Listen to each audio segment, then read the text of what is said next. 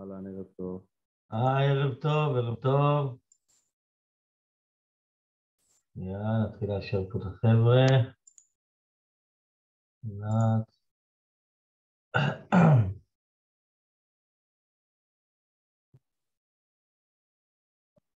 היי איילת, מה העניינים? היי לילך.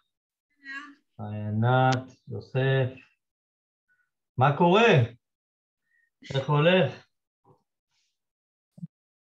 הרבה זמן לא נפגשנו, זה היה שבועיים, נראה כמו נצח.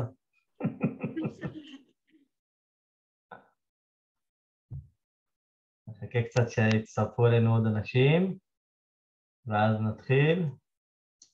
איך עבר הפיידם בינתיים? איך עבר החודש האחרון? ספרו קצת, אה, קצת אה, חוויות, מה שנקרא. איילת, איך עבר? כתבתי את החוויות שלי. היה לנו מוצר שרצינו לסיים את המלאי כי העלינו עכשיו גרסה חדשה והאריזה נראית אחרת. אז היינו חייבים, וגם המידות, היינו חייבים כאילו להוציא את כל המלאי לפני שאנחנו מכניסים עוד, ככה הסבירו לנו, אני לא יודעת. אז באמת עשינו ממש מה שאמרת, הלכנו ממש עם כל ההוראות, וגמרנו את המלאי כבר ביום הראשון, שזה היה מצוין. די, מעולה, כן, מעולה. זהו, אז לא ממש עשינו מזה כסף, כי באמת הורדנו מחיר וכל מיני כאלה בשביל לגמור את המלאי, אבל אה, השגנו את המטרות, וכבר עכשיו מוכרים את ה...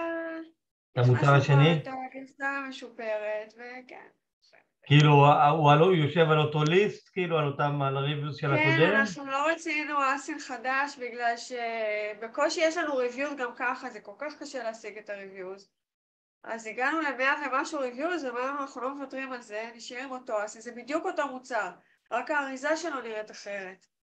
לא, מעולה, מעולה, כן, זה, זה תהליך כזה ש... שעושים אותו הרבה. אה, רק שנייה, שנייה. אז יופי, ואז אה, ג'וסף, ענת, לירז, לילך, איך לכם הלך הפריים דיי? אתם השתתפתם? פרסמתם בפריים דיי? מישהו אנחנו- מכם?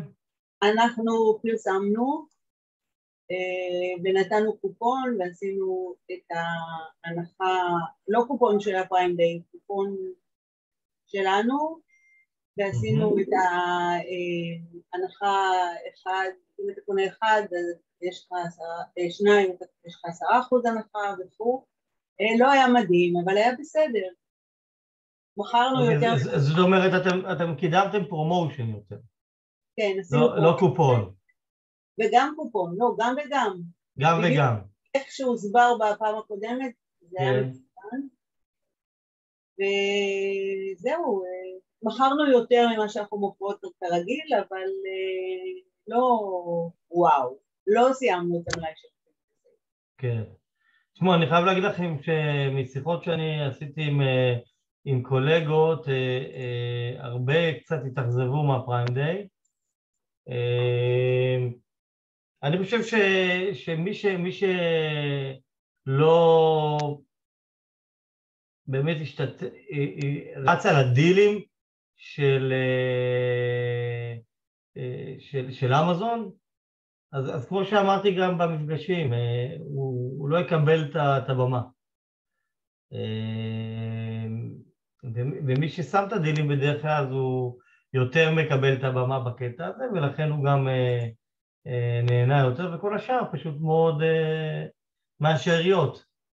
אז, אה, אז באמת אה, זה, זה, צריך לקחת את הפריים דיי הזה ב- בפרופורציות. מה שנקרא. אמ, זה או שאתה במגרש או שאתה מחוץ למגרש. קשה קצת מה שנקרא לרצות ליהנות מהפריים דיי, ו... כי אנשים בפריים דיי מחפשים את ה... אה, הם מחפשים את הדילים עצמם. הם מחפשים את הדילים ומעדיפים אה, אה, להתמקד בדילים עצמם.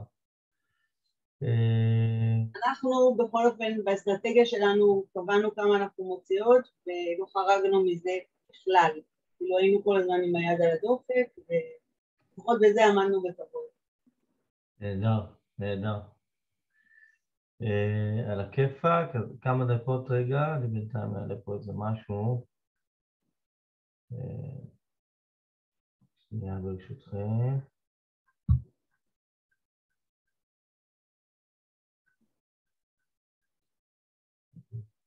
עוד כמה דקות מצטרפים כל פעם קצת אנשים, אה, אז ניתן עוד דקה.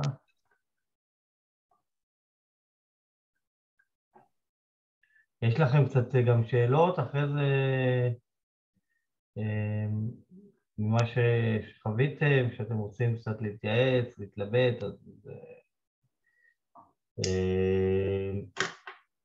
זה הזמן טוב. רק שנייה, אני רוצה להעלות פה איזה תזכורת. טוב.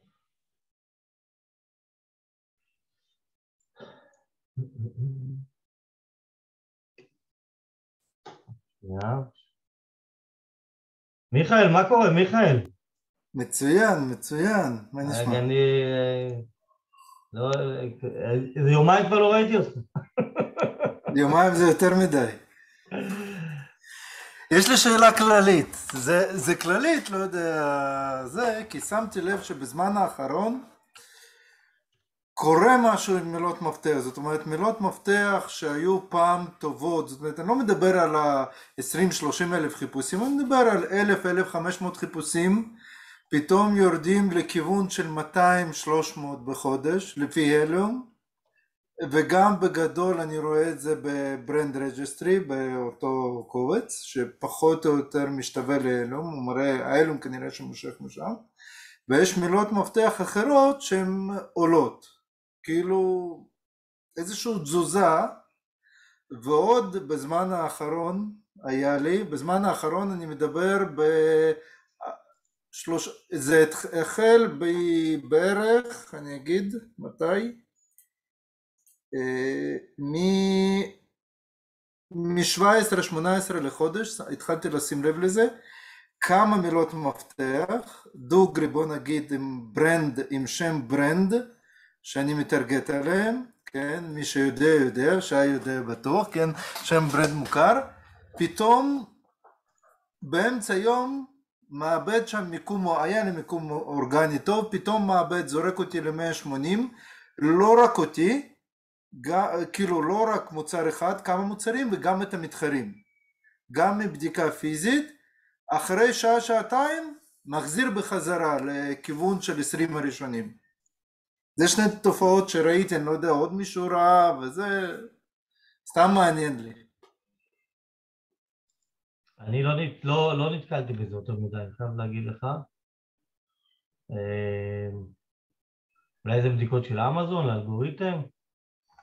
אולי, לא יודע. אני, אני, יכול להביא, אני יכול להביא מילה, תבדקו אותה, בואו בוא אני אסתכל אותה עכשיו שאני לא מדבר סתם, אבל תסתכלו, זה פשוט מעניין, ומילה די מוכרה שפתאום מכמויות גדולות ירדה ואני ניסיתי לפרסם שם, השקעתי שם הרבה כסף ועכשיו זה פשוט לא שווה, שנייה אני אגיד, אני אבדוק שלא לדבר סתם.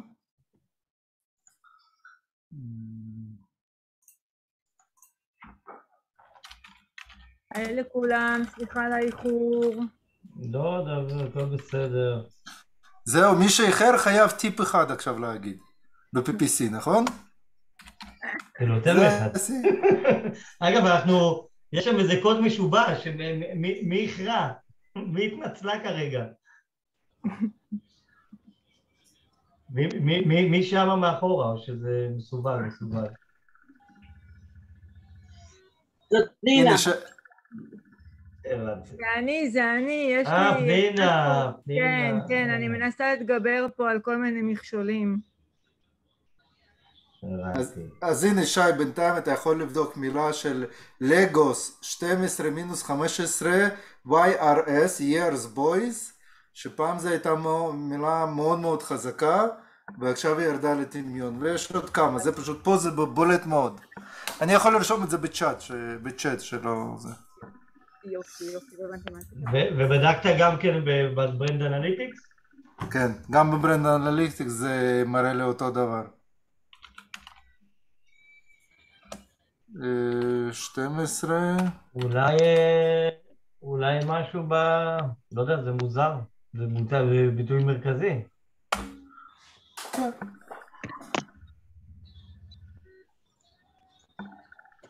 היא פעם הייתה מאוד מאוד חזקה.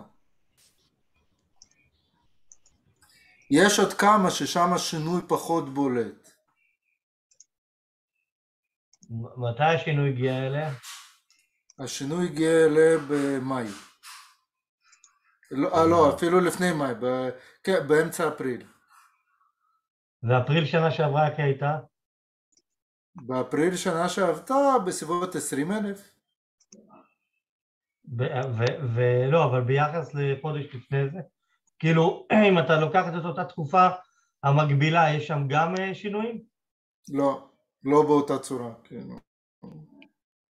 ממש לא. יש טיפה שינוי בקיץ, אבל אה, טיפה לכמה ימים.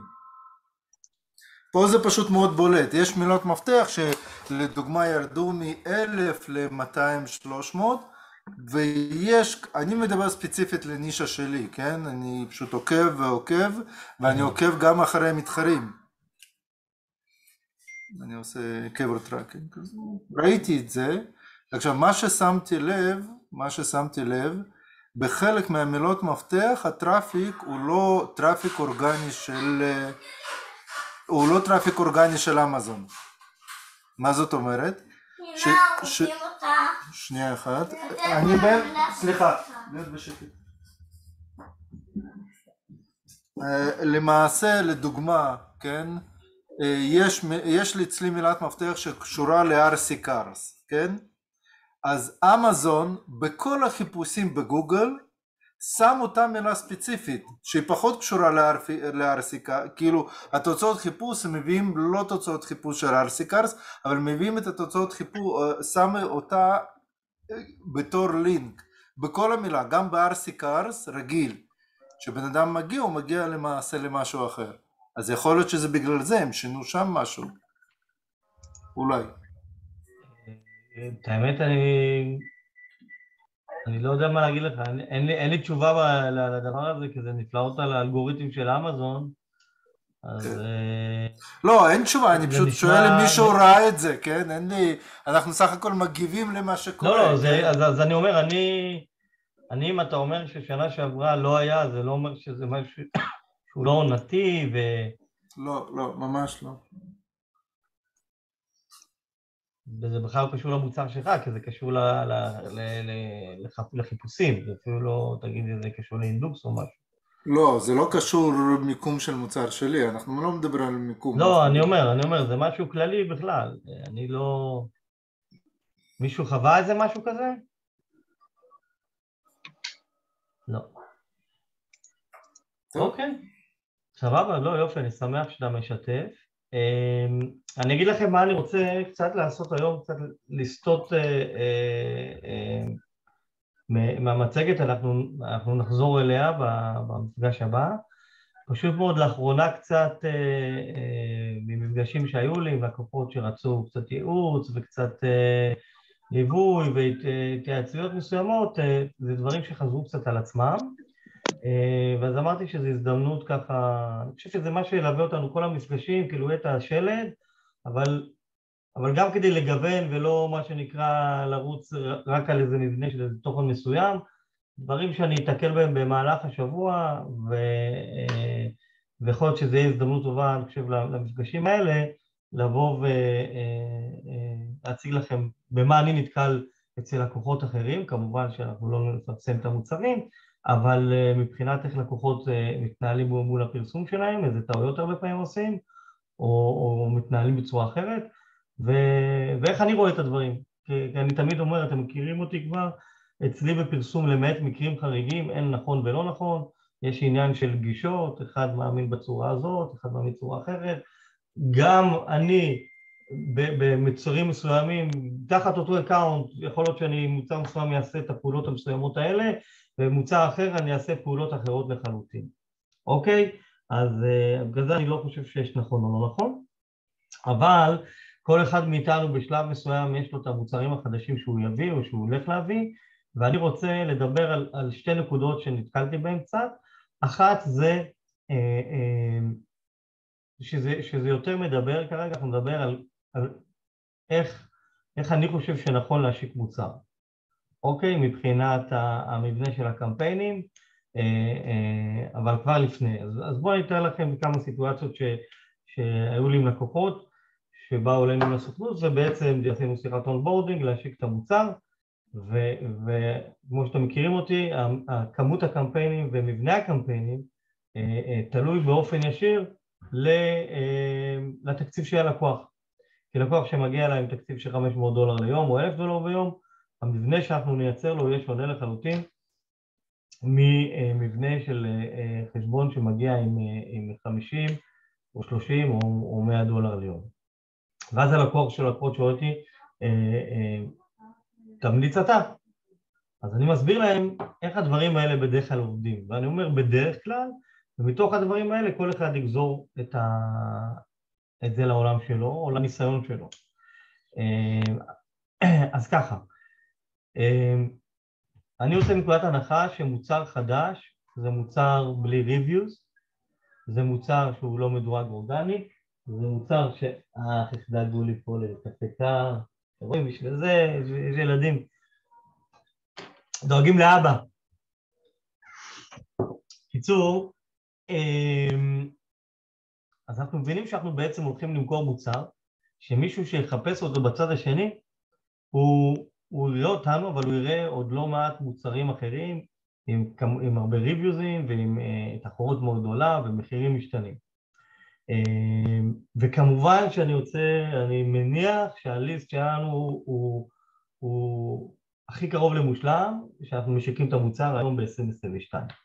בסדר? זאת אומרת, זה, זה סשנים שאנחנו נדבר גם בהמשך, התלבטתי באמת אם להעלות את זה היום, איך לבנות את איש המכירות שלנו, אבל בוא נגיד שהליסט מוכן למכירה, אנחנו משקפים את הבידול שלנו, אנחנו מדברים ב- בליסט עצמו לערך האמיתי שאנחנו נותנים ללקוח, המענה של המוצר שלנו נותן, זאת אומרת שמישהו, המחקר, עשינו מחקר מילים, שהוא מחקר מילים שהוא ברמה הכי גבוהה שיכולה להיות, השקענו בזה המון זמן, אה, אה, ואם, אה, ואם אנחנו נצטרך אנחנו נעזר גם בכלים חיצוניים, ובנינו באמת את רשימת הביטויים שעליהם אנחנו נצא לפרסם, כי אנחנו רוצים להגיע למצב שלקוח חיפש את המוצר שלנו, חיפש, עשה חיפוש מסוים, הוא יראה את המוצר שלנו ואנחנו נגדיל את הסיכויים שהוא יקנה.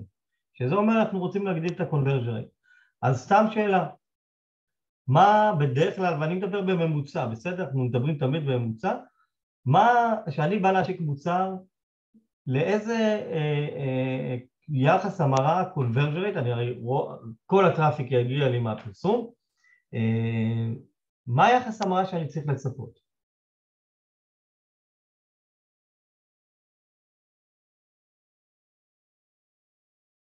אתם רוצים תגיבו בצ'אט, אני אקריא, אתם רוצים אה, אה, לדבר? אבל בואו ננסה להפוך את הדיון הזה לדיון.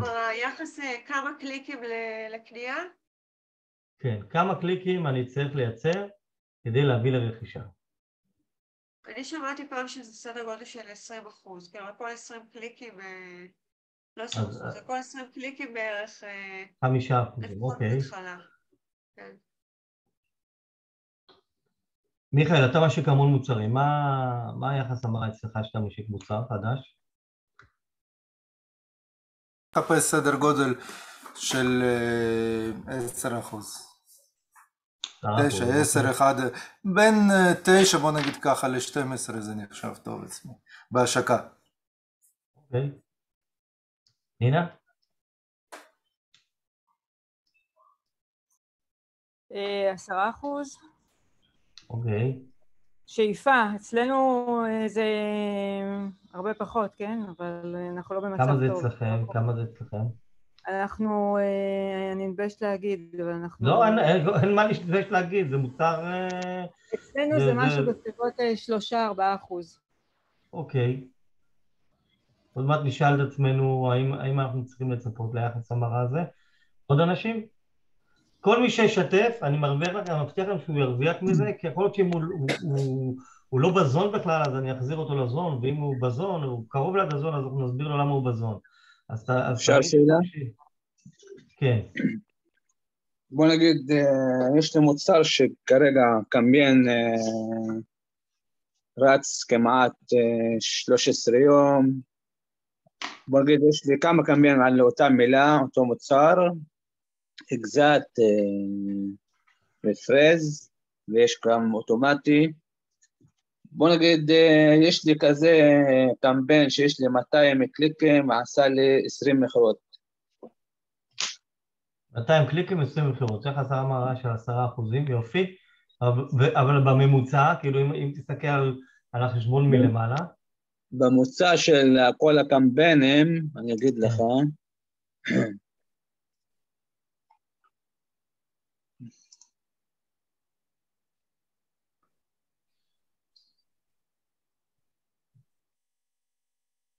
כל הקמפיינים עשו 1,400 קליקים.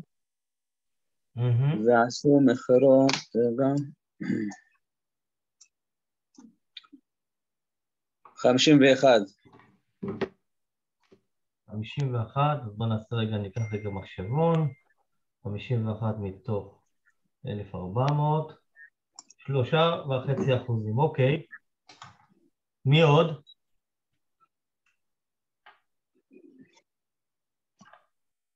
אתה מדבר רק על הקמפיינים, או כן, בכלל אני, אני, אני כל אומר, אנחנו, המכירות? אנחנו כרגע משיקים מוצר. כשאנחנו משיקים מוצר, מרבית המכירות, למעט בודדים, יגיעו מהפרסום. אני רוצה, למה אני רוצה? כי אני רוצה להגיד איך אנחנו נתכנן את התקציב. אנחנו, תכנון התקציב, רק אם אנחנו נבין כמה קליקים אנחנו צריכים למכירה, אז אנחנו נדע גם לתכנן את התקציב. ואז כשנגיד, אוקיי, זה התקציב שיש לי, מתוך זה נוכל לתכנן את מבנה הקמפיינים. אז כן, אני מתייחס כרגע רק למוצר חדש, שמוצר חדש, רוב היחסי המרה יגיעו מהפרסום.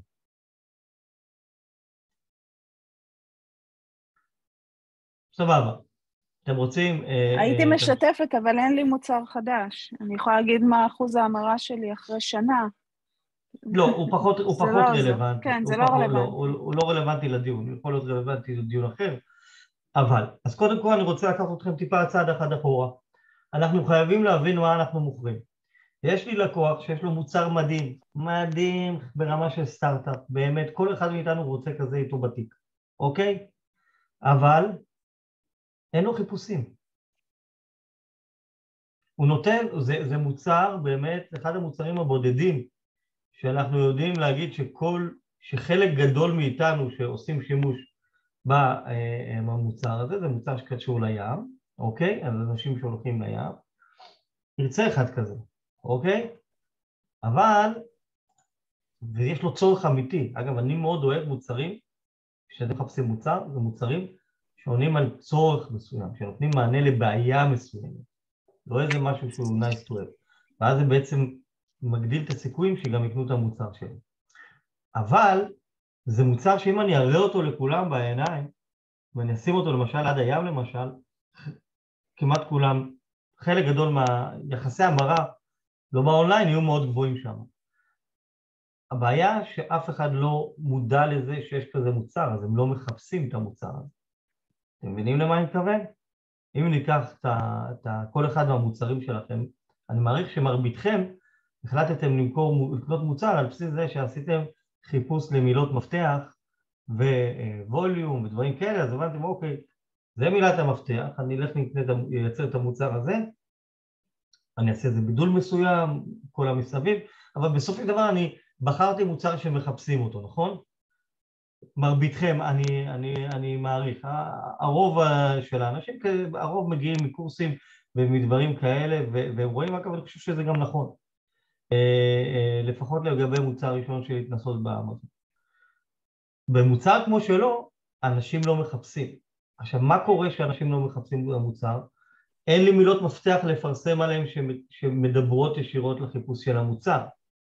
זאת אומרת, כל מה שאני אוכל לפרסם עליו זה ליד. זה אנשים שמחפשים עכשיו משהו אחר לים, אני יוצא מכל ההנחה שהם הולכים לים, ואני אלך לפרסם באזור שהם נמצאים שם. אתם, אתם יורדים לסוף דעתי? זאת אומרת, כן. באופן ברור, יחסי המרה פה יהיו נמוכים. זאת אומרת שהלקוח הזה הגיע אליי, אני אמרתי לו, אין לך מה לצפות ליותר משניים שלושה יחסי המרה, אחוזים. כי אנשים לא מחפשים את המוצר שלו. אוקיי, אגב, זה באמת מה שקורה גם במציאות והוא מוכר נהדר. אבל הוא מבין שהוא צריך לשים הרבה כסף על פרסום. כי מה זה אומר יחס המרה של, של שלושה אחוזים? כמו, של, אה, כמו שאללה ציין פה, דברים כאלה. זאת אומרת שאני צריך להשקיע 30-40 קליקים כדי לייצר מכירה, כי משם יגיע המוצר שלי, המכירות של המוצר שלי. אופציה נוספת, שדווקא יחסי המרה הם בדרך כלל יותר נמוכים.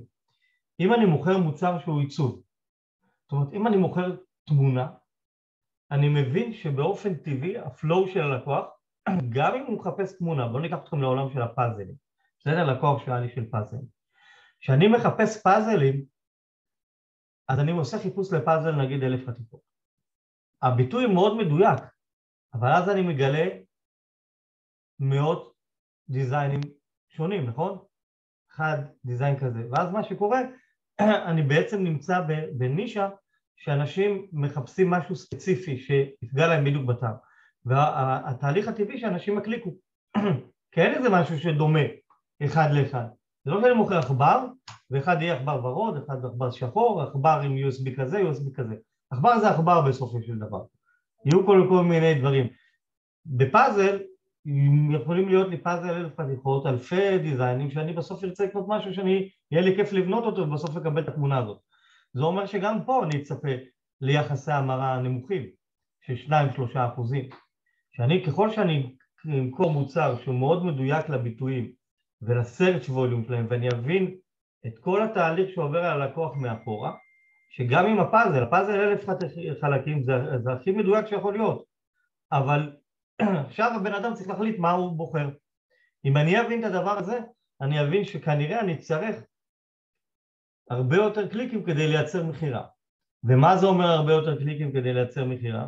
זה אומר שבעצם אני הולך להוציא הרבה מאוד כסף כדי לייצר מכירה. אז זה אומר שאני באזורים האלה של התמונות, פאזלים, מוצרים שלא מחפשים אותם, מוצרים שאני בא ליד, אין להם חיפוש אלא מה שנקרא אני בא ליד, אני אלך לחפש את הלקוח שלי בנקודה מסוימת, לפגוש אותו שם ואז להראות לו את המוצר שלי ולהגיד וואלה אולי זה מה שנקרא, אני, אני מייצר חשיפה למותג, למוצר מסוים. אין מודעות, אני בעצם עושה חדירת שוק ב, ב, בסוג הזה של המוצרים. וזה אומר שאני צריך להיות מוכן לדבר הזה, שעוד מעט נתרגם את זה לתקציבים. אני גם צריך להבין כמה עולה הקליק אצלי בנישה. עכשיו, כשאנחנו מוכרים מוצר שהוא כבר ותיק, ואנחנו הוספנו לו וריאציה, או משהו ליד או מאותה נישה, אז אני יודע פחות או יותר להגיד, אוקיי, זה היה פחות או יותר הממוצע של הבידים שלי. ואז אני יודע להגיד מה המכפלה. לצורך העניין, אם אני יודע שאני משיק מוצר שיחסי המרה הם 1 ל-3, אז אני צריך לייצר 30 קליקים, נגיד שביד עולה דולר, 2 דולר, אוקיי, בממוצע, בואו נראה שדולר, שלא נבאס פה את האנשים, אה, אה, בדיוק הייתה לי שיחה כזאת לקוח, אז אחרי זה אמרו לי, שמע, ביאסתי את הבן אדם, מה זה ביאסתי את הבן אדם? עשיתי תיאום ציפיות, שידע איך להיכנס נכון עם התקציב הנכון למשחק הזה, שלא אחרי יומיים אה, לא יבין למה על 30 דולר הוא, הוא, הוא לא מקבל מספיק מחירות. התיאום הציפיות עם עצמך הוא מאוד מאוד חשוב, וזה אומר שלמשל בתקציבים, אם אני 30 דולר מייצר מכירה, אז אם שמתי 50 דולר תקציב, כמה מכירות אני אייצר בממוצע? אחת וחצי, בין אחד לשתיים, עוד קצת יום אחד יותר, יום אחד פחות. עכשיו אני צריך לשאול את עצמי כמה מכירות אני רוצה לייצר ביום, כי אם אני רוצה לייצר חמש מכירות ביום, ואני יודע שיחס המרה שלי הוא 1 ל-30, והקליק הממוצע שלי הוא דולר, אז אני צריך לשים 150 דולר ליום. יש לי את התקציב הזה? אין לי את התקציב הזה? במקרה היום, ממש אני משתף אתכם בשיחה, הסברתי להם את התהליך, ואמרתי להם עכשיו תיתנו לי תשובה, לכו תשבו אתם איזה שותפים עם עצמכם, ותבינו מה המסגרת התקציבים שלכם. אחרי זה תבואו אליי ואז אני עם זה אדע לבנות נכון את הקמפיינים שעוד מעט ניגע בזה. בגדול הממוצע מהניסיון שלנו הוא בין, אה, הוא סביב החמישה אחוזים, אוקיי? עכשיו, ראינו, יש פה גם מקרים של תשעה, עשרה אחוזים, ויש גם מקרים של, אה, של פחות. אה, אני חושב שאם אני באזור של השלושה אחוזים, אני צריך לעצור רגע, וזה לא אומר שזה משהו לא טוב, או, או, או אולי לא, הסיכוי שלי להצליח למוצר הוא נמוך. לא, אבל פחות או יותר שיש איזו סטטיסטיקה מסוימת, שבעולם של, שתבינו, בעולם של אמזון חמישה אחוזים זה נמוך, אבל זה, זה הממוצע להשקת מוצר. אוי ואבוי לי אם, אם אני אשאר על חמישה אחוזים במוצר ותיק. כמובן עם מוצר שאת יודעת שזה לא המאפיינים שלו, יש מוצרים שהם ותיקים, הם מאוד יקרים, חמישה אחוזים זה לגיטימי ביותר והם רווחיים מאוד. אבל אנחנו מדברים על ממוצע מוצרים שנמצאים כמה עשרות דולרים, עם מוצר ותיק עם יחס המראה של חמישה אחוזים, יהיה לו קשה מאוד לשרוד בעולם הזה שקוראים לו אמזון. אה, מה נחשב אה, אחוז המרה אה, טוב, כאילו, ממוצע אבל טוב? זה מאוד תלוי, יפה, אז קודם כל זה מאוד תלוי בנישה, אבל בממוצע אני, אני לא רוצה להיות פחות מעשרה אחוזים, זה לדעתי הרף התחתון שלנו. עכשיו רק להכניס אותנו לפרופורציות, למה אנשים אוהבים את אמזון? מישהו פה יודע אה, אה, מה יחס המרה אה, אה, אה, מחוץ לאמזון? אם זה אתר אינטרנט, אה, על שופיפיי, אנשים רגילים להגיד שופיפיי. בין אחוז אה, לשלוש? אוקיי, מי עוד? זרקו, פשוט יזרקו. אחד וחצי. אחד וחצי, אוקיי. מי עוד? איילת, כמה את חושבת? מה עולה לך בראש? מושג, אני לא מוכרת לא בפלטפורמות אחרות, אין לי מושג. יום אחד את תגיעי לשם, מאוד חשוב שתדעי. לא, זה בסדר. אני חושבת שנניח אחוז, אבל זה לא אוקיי. עולה כל כך כמו שזה עולה באמזון בטח. זהו, זה לא, זה, זה, זה לך לא נכונה. בממוצע רק שתבינו, בעל אתר אינטרנט, אם יחס המרה שלו יהיה בין 1 ל-2, הוא יהיה בן אדם, אם הוא יהיה 2 אחוז, הוא יהיה בן אדם הכי מאושר בעולם. ולצערנו גוגל ופייסבוק הם לא פלטפורמות יותר זולות מאמזון. אז השיקול כן. כרגע, בגלל זה אנשים אוהבים ללכת לאמזון, ואני אדבר גם על מוצרים ותיקים באתר אינטרנט, זה, זה כי בגלל זה משקיעים כל כך הרבה במועדוני לקוחות, דברים כאלה, כדי, כי הם לא יכולים לחיות רק על פרסום שהרבה יותר יקר לפעמים מאמזון, כאילו תלכו, לקחת אותו מילת מפתח בגוגל, היא לא תהיה יותר זולה. עכשיו אם מילת מפתח, אם הממוצע שלי יעמוד על 2 אחוזים, ובאמזון היא 5 אחוזים, 10 אחוזים למוצר ותיק ומעלה, בינוני ומעלה, לאו דווקא ותיק, אז זה אומר שאני צריך שהעלות הביד הממוצע שלי יהיה חלקי 5 פחות או יותר כדי שזה יצדיק לי להזרים את התנועה לאתר. זאת אומרת, השיקול להקים אתר, הוא, הוא, הוא צריך להבין מה המגרש ולהבין שזה לא, המטרה פה לא לייצר איזה רווח, אלא לייצר איזה סוג של עוד איזה, אה, אה, אה, מה שנקרא, מקום שמייצר לי הכנסה לעסק שלי, מחר אמזון יורידו לי את העסק או כל מיני דברים כאלה, ואני מבין שזה, להש... להפוך אתר לרווחי זה, זה השקעה מאוד מאוד גדולה של כסף. אז, אז באמזון איזה, איזה גבול כזה שיהיה לנו למטה, אם אנחנו מתחת לעשרה אחוזים על המוצר מוצר ותיק, אני חושב שאנחנו צריכים לעצור ולהתחיל לחקור למה. האם אין לנו גידול? האם המחיר שלנו לא מחיר לא נכון? האם ה traffic שאנחנו מזרימים לאתר, מהקמפיינים הוא, הוא traffic לא נכון? האם אה, אה, אה, התמונות שלי מספיק טובות, מספיק מוכרות, לא רק משהו שהוא יפה ומוכר? יש כל כך הרבה למפות, לעשות איזו רשימה של דברים ולהתחיל לעבור סעיף, סעיף, סעיף, סעיף ולהבין האם אני באמת עומד בסטנדרטים הכי גבוהים שיכולים להיות. אוקיי? אם זה מבחינת, ה, אה, אה, או שאני עומד בתחרות וכל מיני דברים כאלה. אם אני אקח את אללה כרגע, שאני לא יודע מה, מה הוא מוכר, אבל יכול להיות שהשלוש וחצי אה, אה, הוא, הוא יחסית גבולי, אבל אני הייתי למשל בודק האם ה traffic שאני מצליח להביא, כי קמפיין אחד הוא, הוא הראה לנו שיש לו עשרה אחוזים, נכון אללה?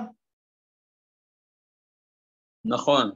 וקמפיין, והממוצע הוא שלושה וחצי אחוזים, זה אומר, אני לא יודע כמה traffic מגיע מהקמפיין של עשרה אחוזים, אבל זה אומר, בוא נגיד שאם traffic מחולק באופן יחסית שווה בין כולם, זה אומר שבממוצע אחרים הם פחות משני אחוז אפילו, כי העשרה אחוזים מעלה להם, אוקיי, אלא אם כן עשרה אחוזים לא מקבל מספיק traffic, ואז הוא בעצם, הוא נקודתי לעשרה אחוזים, אבל כל השאר לא. אז הייתי קודם כל בודק האם ה traffic שאני מצליח להביא הוא traffic נכון, מה קובע את יחס ההמרה, האם, האם אני מזרים traffic נכון? יכול להיות שאני מזרים את ה traffic garbage, אני מכניס למערכת כרגע, וסתם חבל להכניס את הטראפיק הזה. אה, כי, אם קמפיין אחד יודע להניב לי אה, עשרה אחוזים וכל השאר שלושה אחוזים, אני יוצא מכל הנחה שכנראה הליסט, הליסט בסדר, נכון? כי אם לא גם ההוא לא היה... אגב, כשאתה אומר אה, אה, על כל 200 קליקים 10 מכירות, נכון? זה, זה מה שהיה, ו-20 מכירות, נכון? באיזה יש לי- תקופה? כן, יש לי קמפיין אחד שיש לי 200 קליקים 20 מכירות, יש כאלה 350 קליקים 10 מכירות. יש לי, כאילו אני מריץ בו כמעט 10 קמפיינים על... אה, אז, אז, אז, אז יש פה traffic שצריך לשחק איתו. כי ה list כנראה יודע למכור, עובדה שהוא מוכר גם, זה מוצר חדש, יחסית כן. אז זה, זה, זה list שהוא כנראה יודע למכור, יכול להיות שהוא צריך להשתפר, יכול להיות שלא, אבל בוא נגיד שאם הוא יודע לעמוד בעשרה אחוזים של מוצר חדש, אז הוא יודע ל traffic מסוים לקנברט, נכון? ולטראפיק אחר הוא לא מקנברט נכון. אבל אז ה- אם- הבעיה שבוא נגיד, בנישה שלי ממוצע המחיר הוא 13 דולר, בוא נגיד, אני מוכר 21.99. כי ה- זה מוצר נכון. שמיוצר פה בארץ, לא בסין, הבנת? כאילו האיכות שלו היא אוקיי, יותר טובה. אז, אז, אז יכול להיות שיחס, אבל עדיין יש לך מקומות שאתה יודע למכור אותו באחד לעשר. נכון. אז אתה צריך לעבוד על ה... על להבין מה מאפיין, לקחת את האחד לעשר הזה, לחקור אותו, להבין מה מאפיין את האחד לעשר הזה, ולראות איך אתה הופך את האחד לעשר הזה כפול חמש אחד לעשר. זאת אומרת, מה, מה הדאטה אומר לי? איזה ביטויים אני מצליח למכור עליהם ואולי להתמקד בהם, כי יכול להיות שכרגע אתה אה, מזרים traffic שהוא הוא, הוא garbage מבחינתך, זאת אומרת, הוא, הוא לא מקנברט, יש פה פער מאוד גדול. זאת אומרת, מקור, קמפיין אחד אתה צריך להשקיע 30 קליקים, קמפיין אחד אתה צריך להשקיע עשרה, נכון. אוקיי? אז זה יכול להיות שהקמפיינים של ה-30, אה, משהו שהם בביטויים, או שהוא לא מתאים, או שזה בסדר, כי לפעמים אנחנו גם רצים בקמפיין אחד מאוד ממוקד, ואז מנסים גם להביא מהמסביב. זאת אומרת, יש הרבה מה- דברים מה. ששורף בו, מה ששורף את הכסף, שיש לי מילת מפתח שהיא חזקה, ואני כאילו לא מוותר על ה-top of the search. יכול להיות שזה כן. מה ש... ה top of search מגדיר לך את יחסי המרה. נכון, אבל במילה הזאת ספציפי, יש כאילו תחרות על המילה הזאת, ו...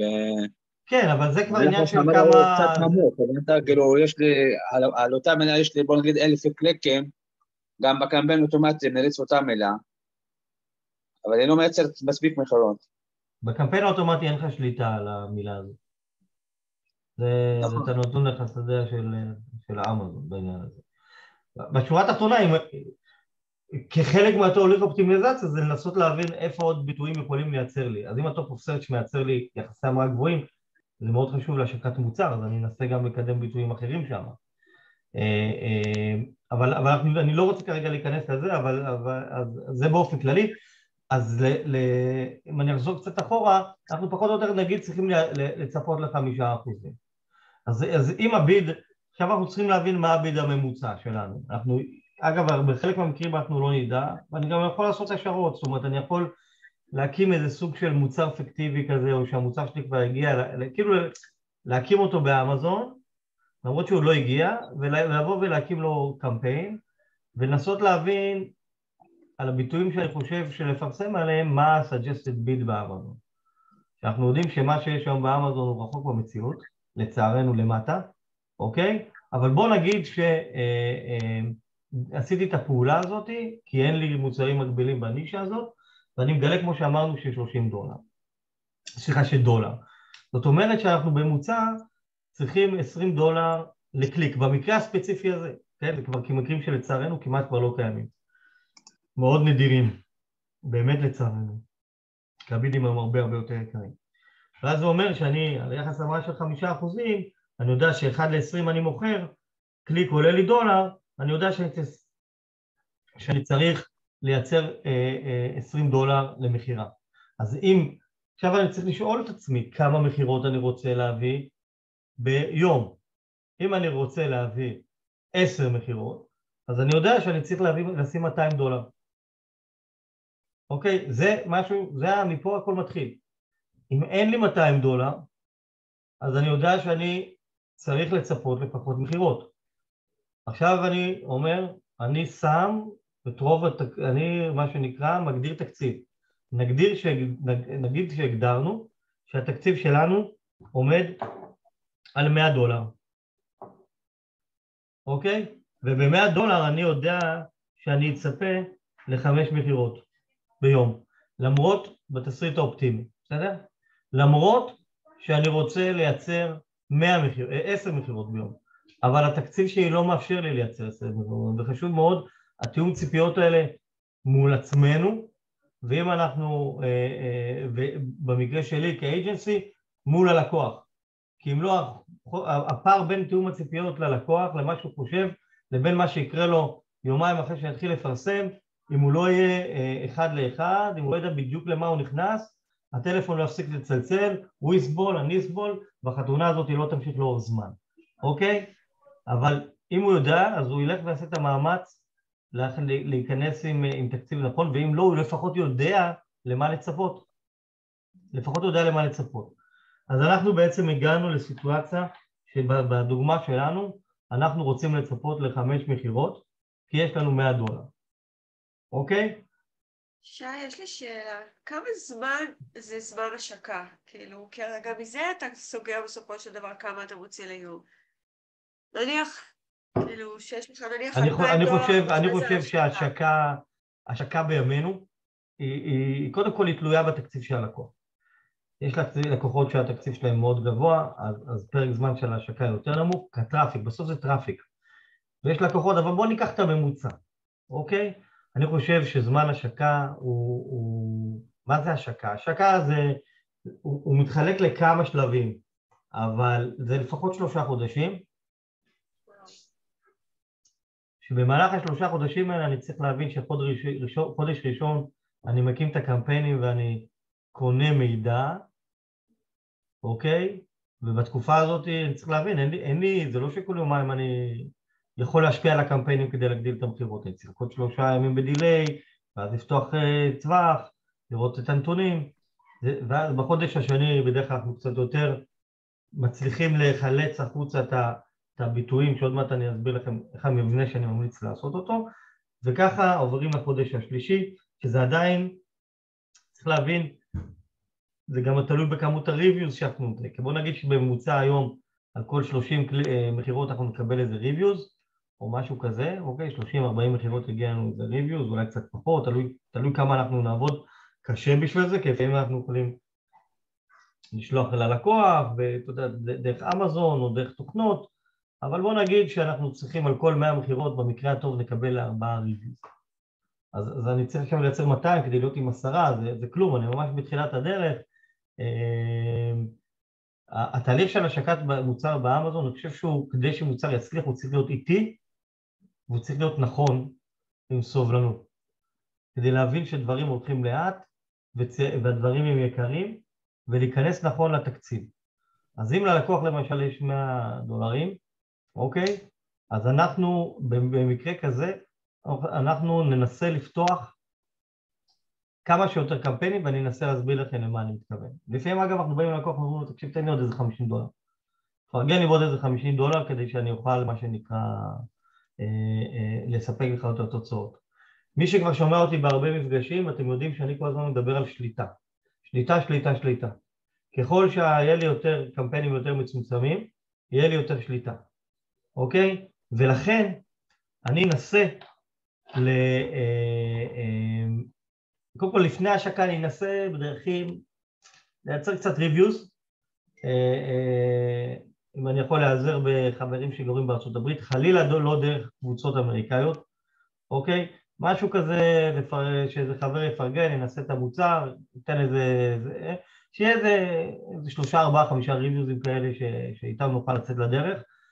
זה לא שאומר שאנחנו נחכה, אבל ככל שיהיה לנו קצת יותר אז זה, יותר טוב, צריכים לראות מצב שאנחנו לא מייצרים איזו סיטואציה שכל מכירה מייצרים, בסדר? כי אם כל מכירה נקבל ריוויוזים זה ידליק, אבל כן יש עדיין קבוצות שאפשר לחלק שם, לא, לא, לא למטרות ריוויוז, אז זאת אומרת מבחינת אמזון איפשהו מכירים את זה, את העניין הזה, אבל אני, אני במיוחד שם את הדגש, לא ללכת לקנות ריוויוז, לא ללכת לקבוצות, לא להתקרב למקומות האלה, אמזון היום עולים על זה תוך דקה. לנסות לחפש איזה friend and family, אוקיי? זה יתרום, אם לא, אז לא קרה שום דבר, אבל עדיין עדיף שיהיה את הנקודה הזאת. הוויין אמ, הביא לנו הרבה ריוויוז טובים בזמנו. נכון, יש גם את הוויין. אה, התוכנית של הוויין, אני ממליץ עליה גם כן מאוד, יכולה לזרז את הריוויוזים הטובים. אה, היא גם יכולה לזרז הריוויוזים הפחות טובים, אבל אתה יודע, אני, אני רוצה כבר לך שהיום כשאנחנו מביאים מוצר, אנחנו מבינים שאנחנו צריכים להביא מוצר טוב, איכותי. כי המשמעות של ריוויוז שלילית לזה יכולה להיות דרמטית מבחינת ההצלחה שלנו. כן. אה, במיוחד שמשקים מוצר. אז בואו נצא לדרך. נגיד שאמרנו שיש לנו בסביבות 100 דולרים, 120 דולר, ואני רוצה, ואני יודע שאני אמור לצפות לבין 4 לחמישה, אה, בין 4 ל-5 מכירות ביום. אז קודם כל זה חשוב. אני אומר לכם, מרבית הסלרים לא עושים את התהליך הזה שאני עברתי איתכם כרגע, והם לא מבינים למה הם לא מוכרים.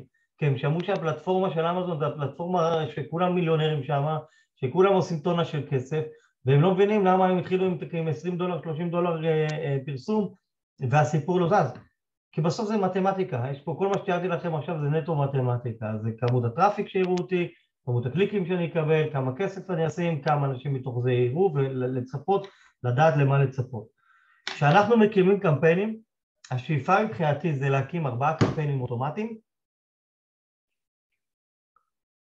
ולפחות, אה, אה, ולפחות, לפחות, לפחות אה, קמפיינים ידניים של לפחות phrase ו broad, עדיפות גם שיהיה exact, שכל אחד הוא ב-match type נמצא בקמפיין נפרד. למה? כי אני רוצה שליטה בקמפיין הזה, לדעת שה traffic שמגיע, מגיע רק ל broad, מגיע ל phrase, ואז בהמשך כשאני אראה שמשהו מהם לא עובד לי, אני אוכל לשלוט עליו, אני אוכל לעצור אותו, ואז אני אקח את הכסף לאחרים.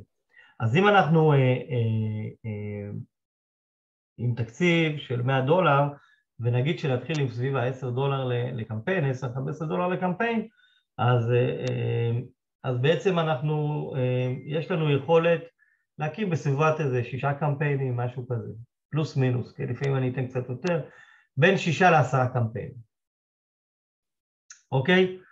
אז הקמפיינים האוטומטיים, העדיפות מבחינתי שיהיה קמפיין ברמת close match, זה קמפיין אחד, קמפיין שני ברמת ה-lose match, קמפיין שלישי ברמת ה-substitute ורביעי ברמת ה-complement, כי אני רוצה לבדוק איך, איך המוצר שלי מתנהג בכל אחד מהאזורים. אם אתם זוכרים שדיברנו על זה, הקמפיין ה-close match וה-lose match זה מה שאנשים מחפשים באמזון, שם המודעות הוצגו, ושניים אחרים זה בעצם בדפי המתחרים.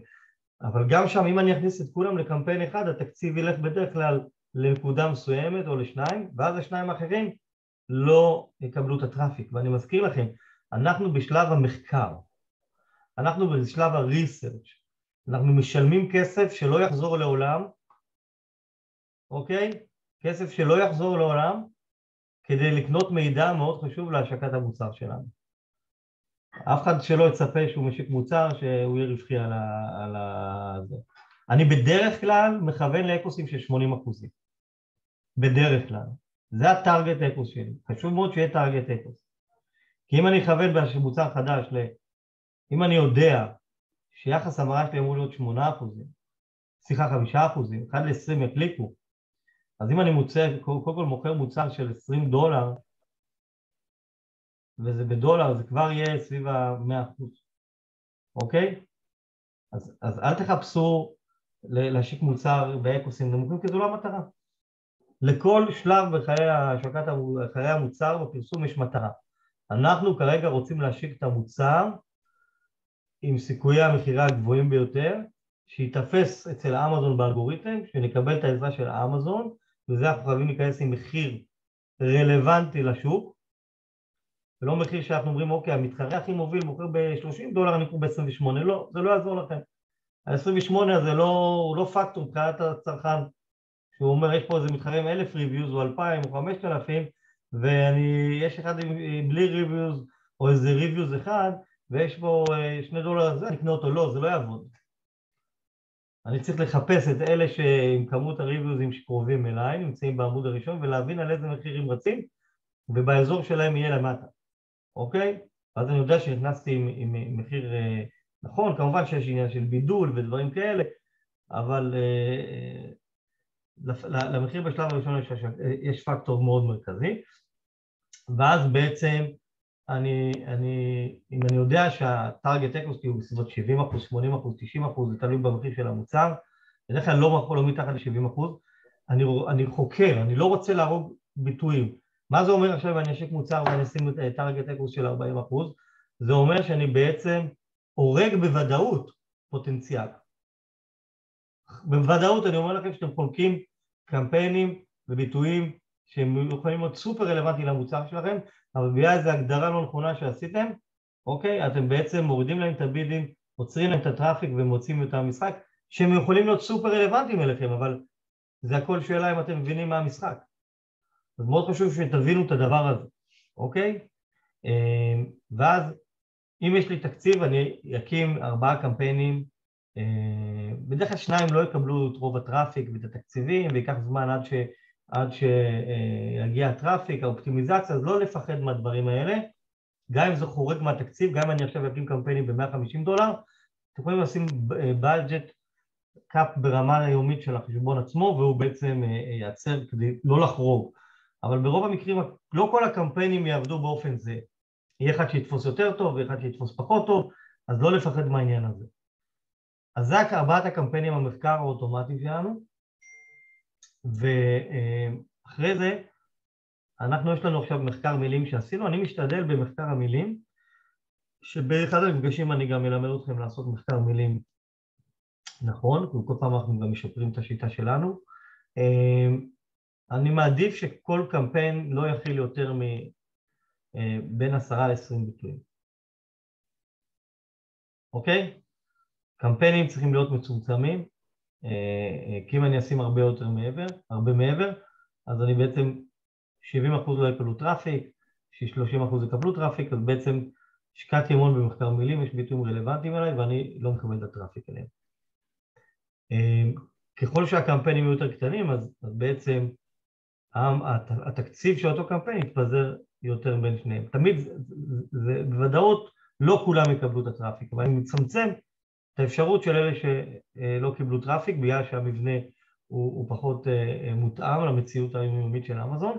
תמיד אחרי זה אני יכול לקחת את הביטויים האלה ולשים אותם בקמפיין חדש ולתת להם את ההזדמנות ביניהם.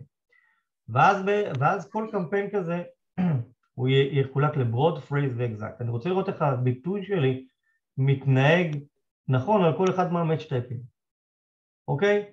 איזה, איזה ביטויים נוספים, אני מזכיר לכם, אנחנו בשלב המחקר, אנחנו רוצים לראות מה עובד לנו יותר טוב ומה עובד לנו פחות טוב ואיזה ביטויים לא רלוונטיים אלינו ולכן אם אנחנו עכשיו, סתם דוגמא, הגענו למצב שיש לנו 30-40 ביטויים אז יש לי לפחות שני סטים, נכון?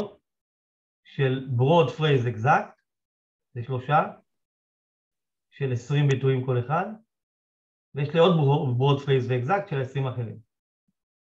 אם מישהו הלך לאיבוד, תגידו לי. יש לי שאלה. למה אתה עושה בעצם קמפיין של 20 ביטויים? למה אתה לא עושה 20 קמפיינים? זה יותר קשה לנהל את זה, אבל 20 קמפיינים, כאילו, שכל אחד מכיל רק ביטוי אחד, כאילו מילת חיפוש אחת, ואז אתה יכול לתת... השאיפה, השאיפה שלי קודם כל לעשות כמה שיותר קמפיינים ב-one keyword קמפיין, אבל פה את כבר נכנסת, אני, אני מדבר כרגע על תקציב של 100 דולר. את לא תוכלי לעשות את הדבר הזה בתקציב של 100 דולר. תתקבלי פה עכשיו 40 קמפיינים שכל אחד צריך לקבל 10 דולר, יש לך פה מה שנקרא 400 דולר, רק, רק תקציב על 40 האלה.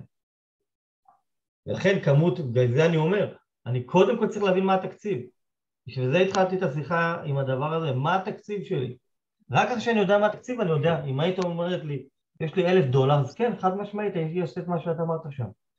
לנהל את זה אה, אה, אה, כמות גדולה של, של, של, של קמפיינים לא מפחיד אותי. שחקן כזה שיש לו אלף דולר לפרסם ביום, שיש לו חמש מאות דולר לפרסם ביום, נעזר כבר בטכנולוגיה. יש טכנולוגיות, בהזדמנות אני אספר לכם, אפרופו הטכנולוגיה של מייק, מאנטוראז', יש יכולת לנהל את הכל בבלקים, הפעולה שאני עושה על 100 קמפיינים או על פעולה שאני עושה על שני קמפיינים היא אותו זמן. אבל, ואולי נניח אותו אחד שיש לו 100 דולר, לא ייקח את כל ה-20 מילות חיפוש, mm-hmm. אלא ייקח שלוש מתוכם.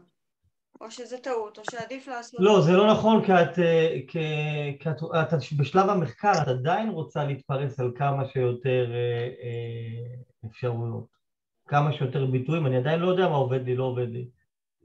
אני בשלב המחקר, זה, לא, זה מתאים, מה שאת אמרת עכשיו, אנחנו עוד מעט להגיד לך איפה אני כן משתמש בזה.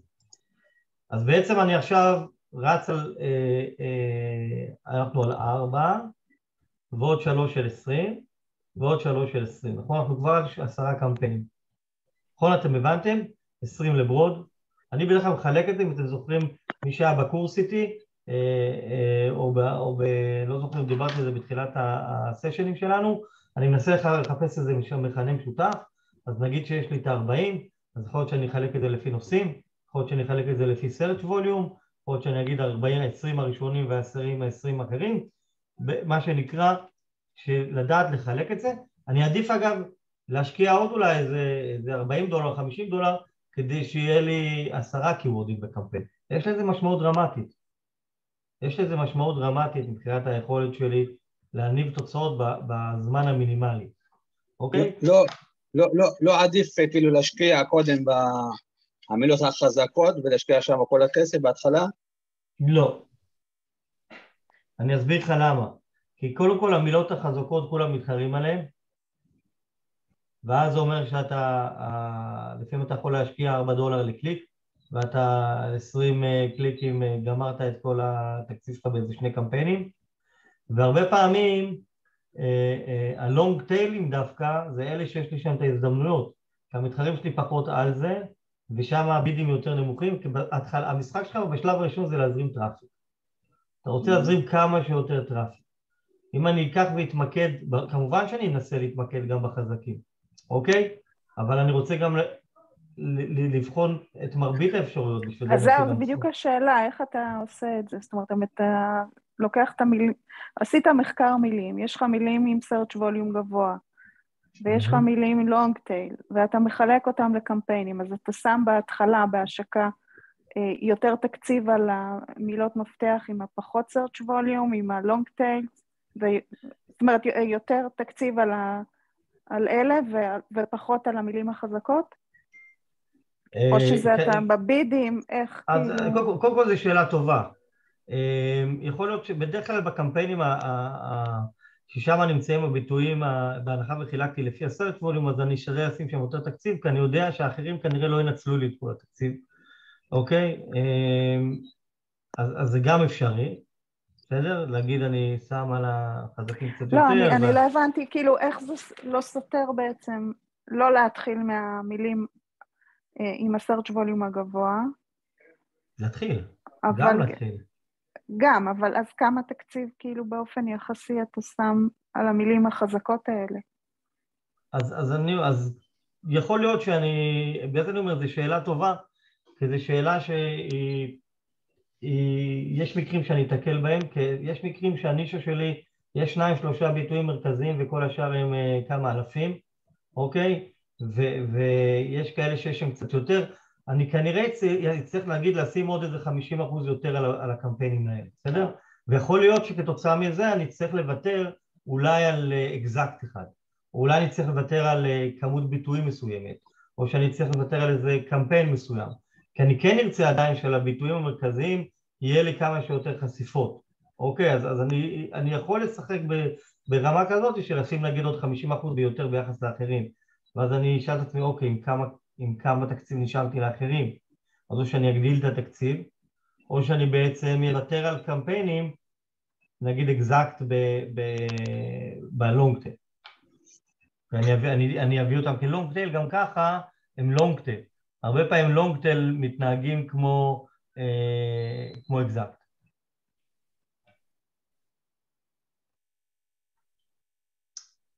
זה ענה לשאלתך? אה, לא כל כך. אז אני, אני אתן לך דוגמה, בסדר? אני אתן לך דוגמה.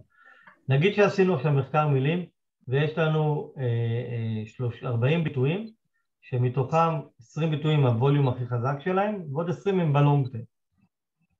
ויש לנו 40 דולר לחלק בין, בין כולם. בעצם יש לנו 100 דולר, אוקיי? זו החלטה ש, שאני נותן, אני אנסה לתת לכם איזה מבנה, אבל חשוב לי שתיקחו את זה לאיפה שההיגיון אומר כמו שהוא שאל. אז, אז אם אני אחלק את זה עכשיו במבנה שאמרתי שיש לנו עשרה קמפיינים, אז כל קמפיין יקבל עשר דולר, נכון? כן. נכון דליה? כן, כן, כן. דליה. אוקיי?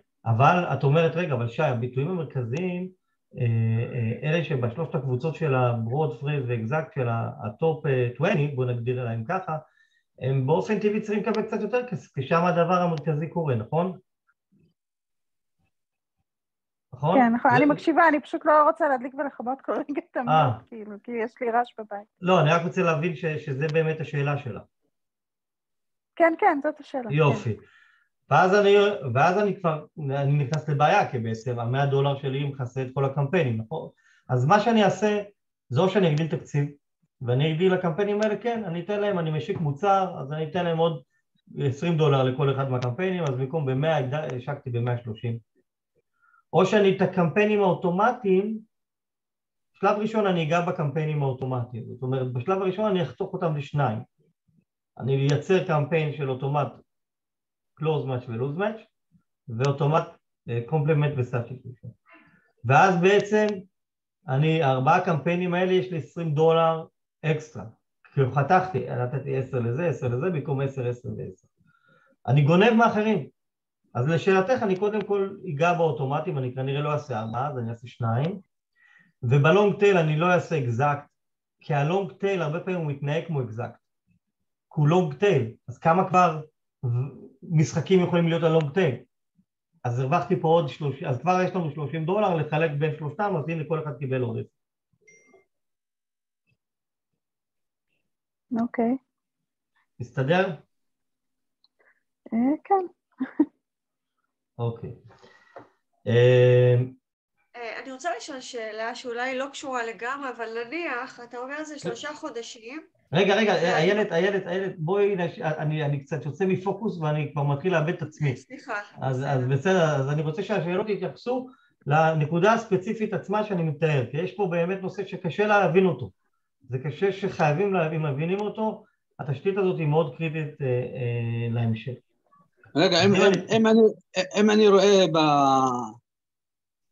בקמפיין אקזאט שיש לי הרבה קליקים אין לי מכירות, אבל בהפרזה על אותה מילה יש לי מכירות, אז לא עדיף לסגור את האקזאט?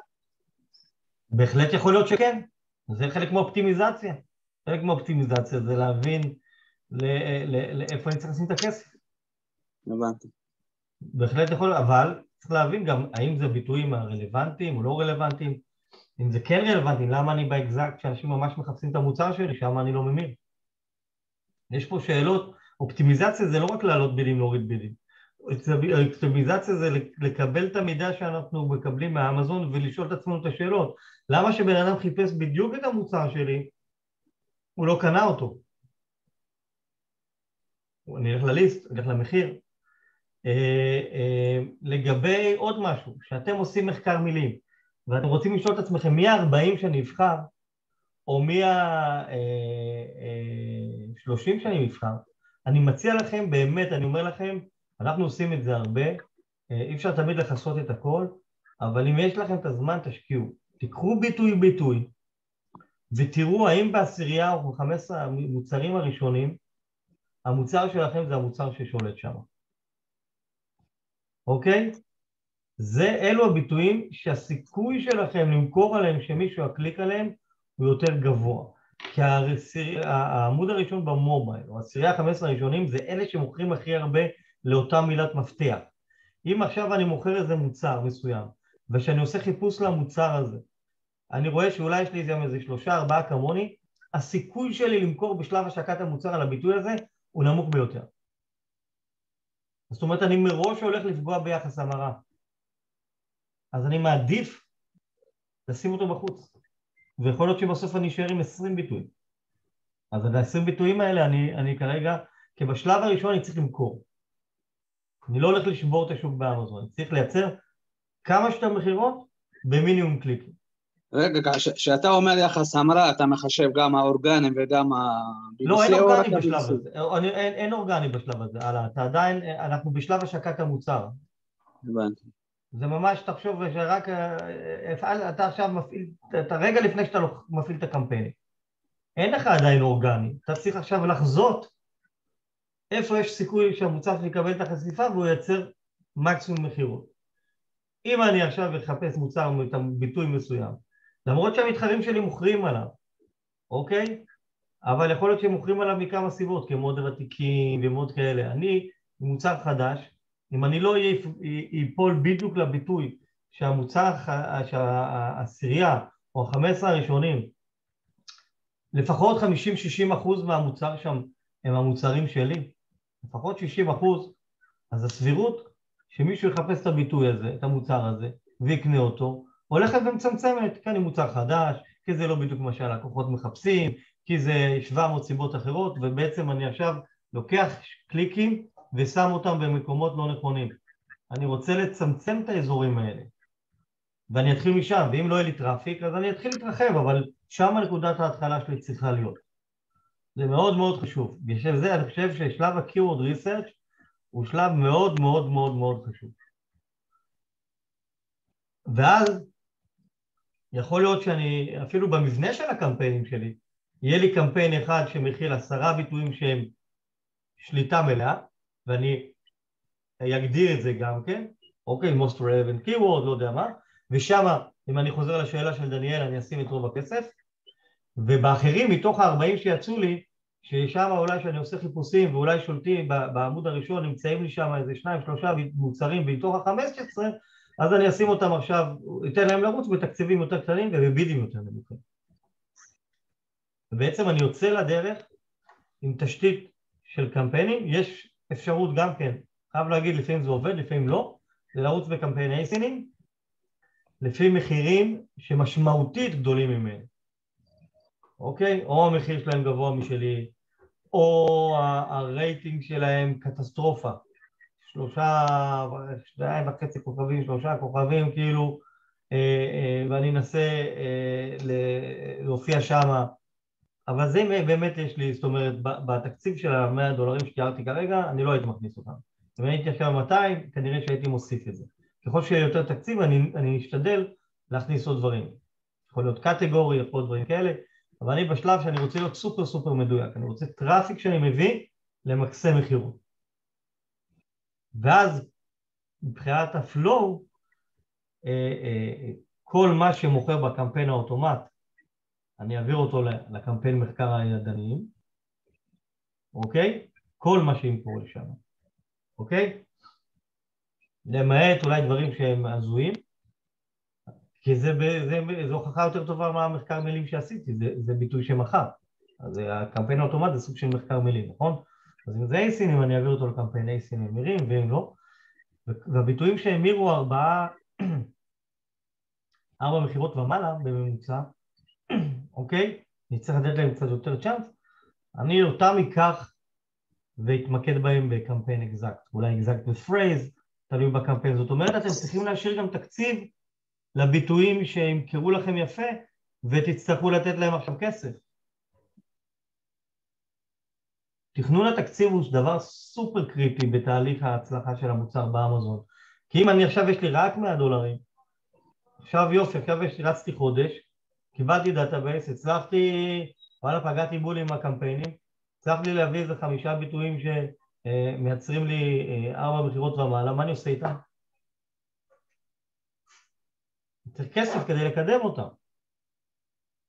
אז המינימום זה לכוון לעשות אותם בקמפיין אקזקט, וכבר פה זה תורה אחרת, נדבר על זה בהזדמנות אחרת, האם ניקח אותם לסינגל קירות קמפיין, שזה מה שהילד אמרה בהתחלה, אז כנראה שכן, אבל אני צריך תקציב בשביל זה.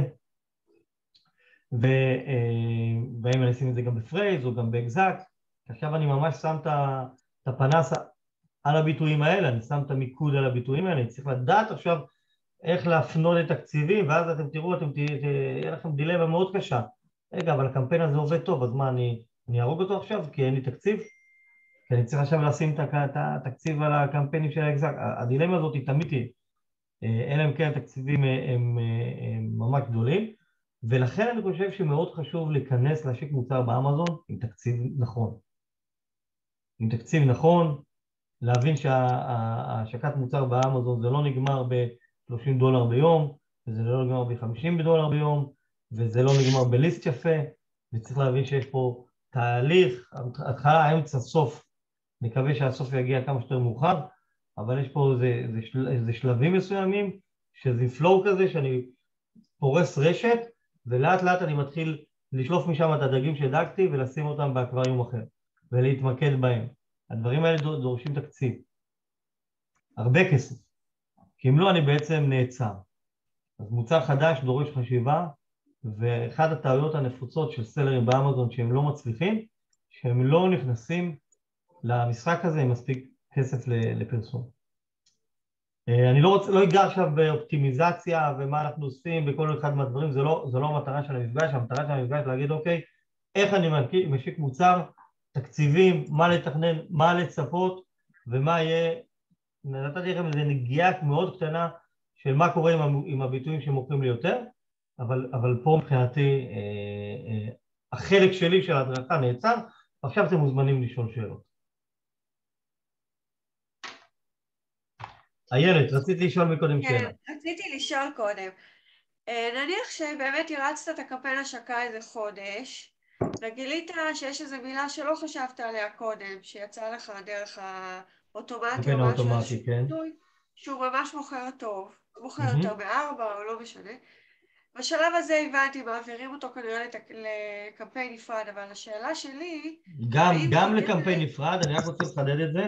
הוא ימצא את עצמו מבלה גם בקמפיינים של המחקר, באחד מהקמפיינים, וגם בקמפיין נפרד, בסדר? זה לא שהוא ידלג אה, על יוותר, כי ממנו אני רוצה לייצר שלוחות.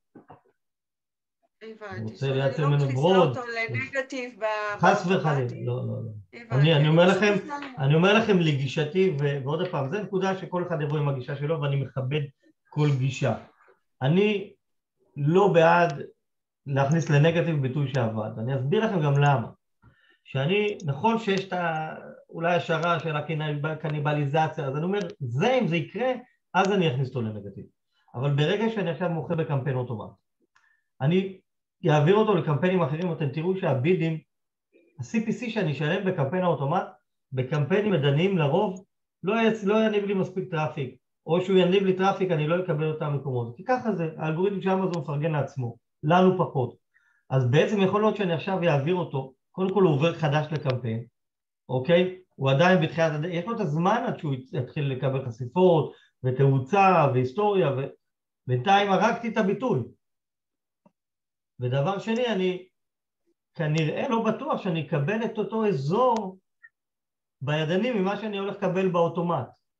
אז פה יהיה באזור אולי יותר טוב, ובידני יהיה באזור אחר, זאת אומרת, למה להרוג משהו שעובד? זה מה שאני אומר. עכשיו אני יכול להגיד לכם אה, אה, שאנחנו ישבנו ופיתחנו את PPC ווינר, שבנינו את האלגוריתם, בדקנו את הנושא הזה. ואחד ההשערות שלי הייתה בהתחלה, הייתה, כן בוא, בוא נוציא אותו, נעצור אותו ונעביר אותו הלאה. אני מדבר איתכם לפני שלוש שנים, אז הדברים משתנים, אבל בלי שום קשר. ועשינו המון המון בדיקות, והייתה לנו תשובה מובהקת, שראינו ש... הוצאנו את הקמפיין, שעשינו נגטיב לקמפיין, חרבשנו את הקמפיין, את הקמפיין. חרבשנו את הקמפיין. אבל אני מכיר אנשים שכן מכניסים להם וזה עובד להם מעולה. זאת גישתי. אבל תסביר מה קורה כאילו כשאתה באמת משאיר את זה בשתי קמפיינים. איך רואים לא. את זה? רואים שני ספונסר כאילו? קודם כל אתם צריכים להבין כשאני משאיר את זה בקמפיין האוטומט, יש לו כל כך הרבה מקומות שאמזון החליטו לפרסם אותם, יכול להיות, האלגוריתם של אמזון מספיק חכם לא לייצר מצב שהם רבים אחד עם השני. זה, יש להם, הוא יפרסם אותו על ביטויים חדשים, וגם אם תרצו אתם תראו, גם אם תרצו, בגלל שאין לכם שליטה, הביטוי הזה לא ימשיך לקבל את כל הטראפיק, זאת אומרת אמזון לא יחשפו את כל, התנ... את כל התקציב שלכם רק על הביטוי הזה, הם ירצו לחפש עוד מקומות, אז הוא ימשיך לטפטף מכירות. אה, עוד לפני בכלל שאתם הוצאתם אותו החוצה, הוא גם עדיין לא יקבל, אז הוא יקבל מקומות ב... אצל מתחרים, הוא יקבל מקומות אצל קיוורדים אחרים, יהיה לו הרבה מקומות שהוא יקבל אותם ולאו דווקא בביטוי המדויק הזה שאתם בקמפיינים שלכם החלטתם לטרגט אותו. ואם זה לא בקמפיין אוטומט, זאת אומרת, אם הוא נמצא באחד מהברוד או בפרייז ו... עדיין. אתה גם משאיר עדיין, אותו? משאיר תמיד. אז אתה משאיר אה, וגם שם אותו כן, בקמפיין נפרד באקזקט. נכון, נכון. אלא אם אוקיי. כן, אני רואה שהפעולה הזאת שעשיתי לא עובדת לי טוב, אה, אבל אני גם לא אדע מאה אחוז לשייך אותה, כי ברגע ש... סתם בוא ניקח דוגמה שהקמפיין עבד בברוד. בביד מסוים. עכשיו אני רוצה לקחת אותו לאקזקט.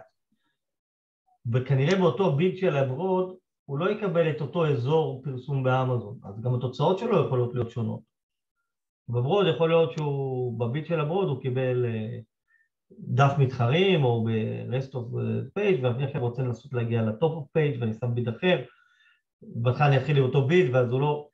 יש כל כך הרבה סימני שאלה בדברים האלה, שזה עובד לי, תנו לו לעבוד, נעביר אותו הלאה, אתם תראו שעצם ההעברה הלאה ייקח זמן עד שהביטוי הזה בקמפיין עצמו יתחיל לקבל, לצבור את המוניטינג שם, יתחיל לקבל את ה traffic, עד שנמצא את האזור הנכון שבאמזון מקנברט לנו, זה תהליך עד שהביטוי הזה עכשיו יתחיל להיות הכוכב העולה שלנו.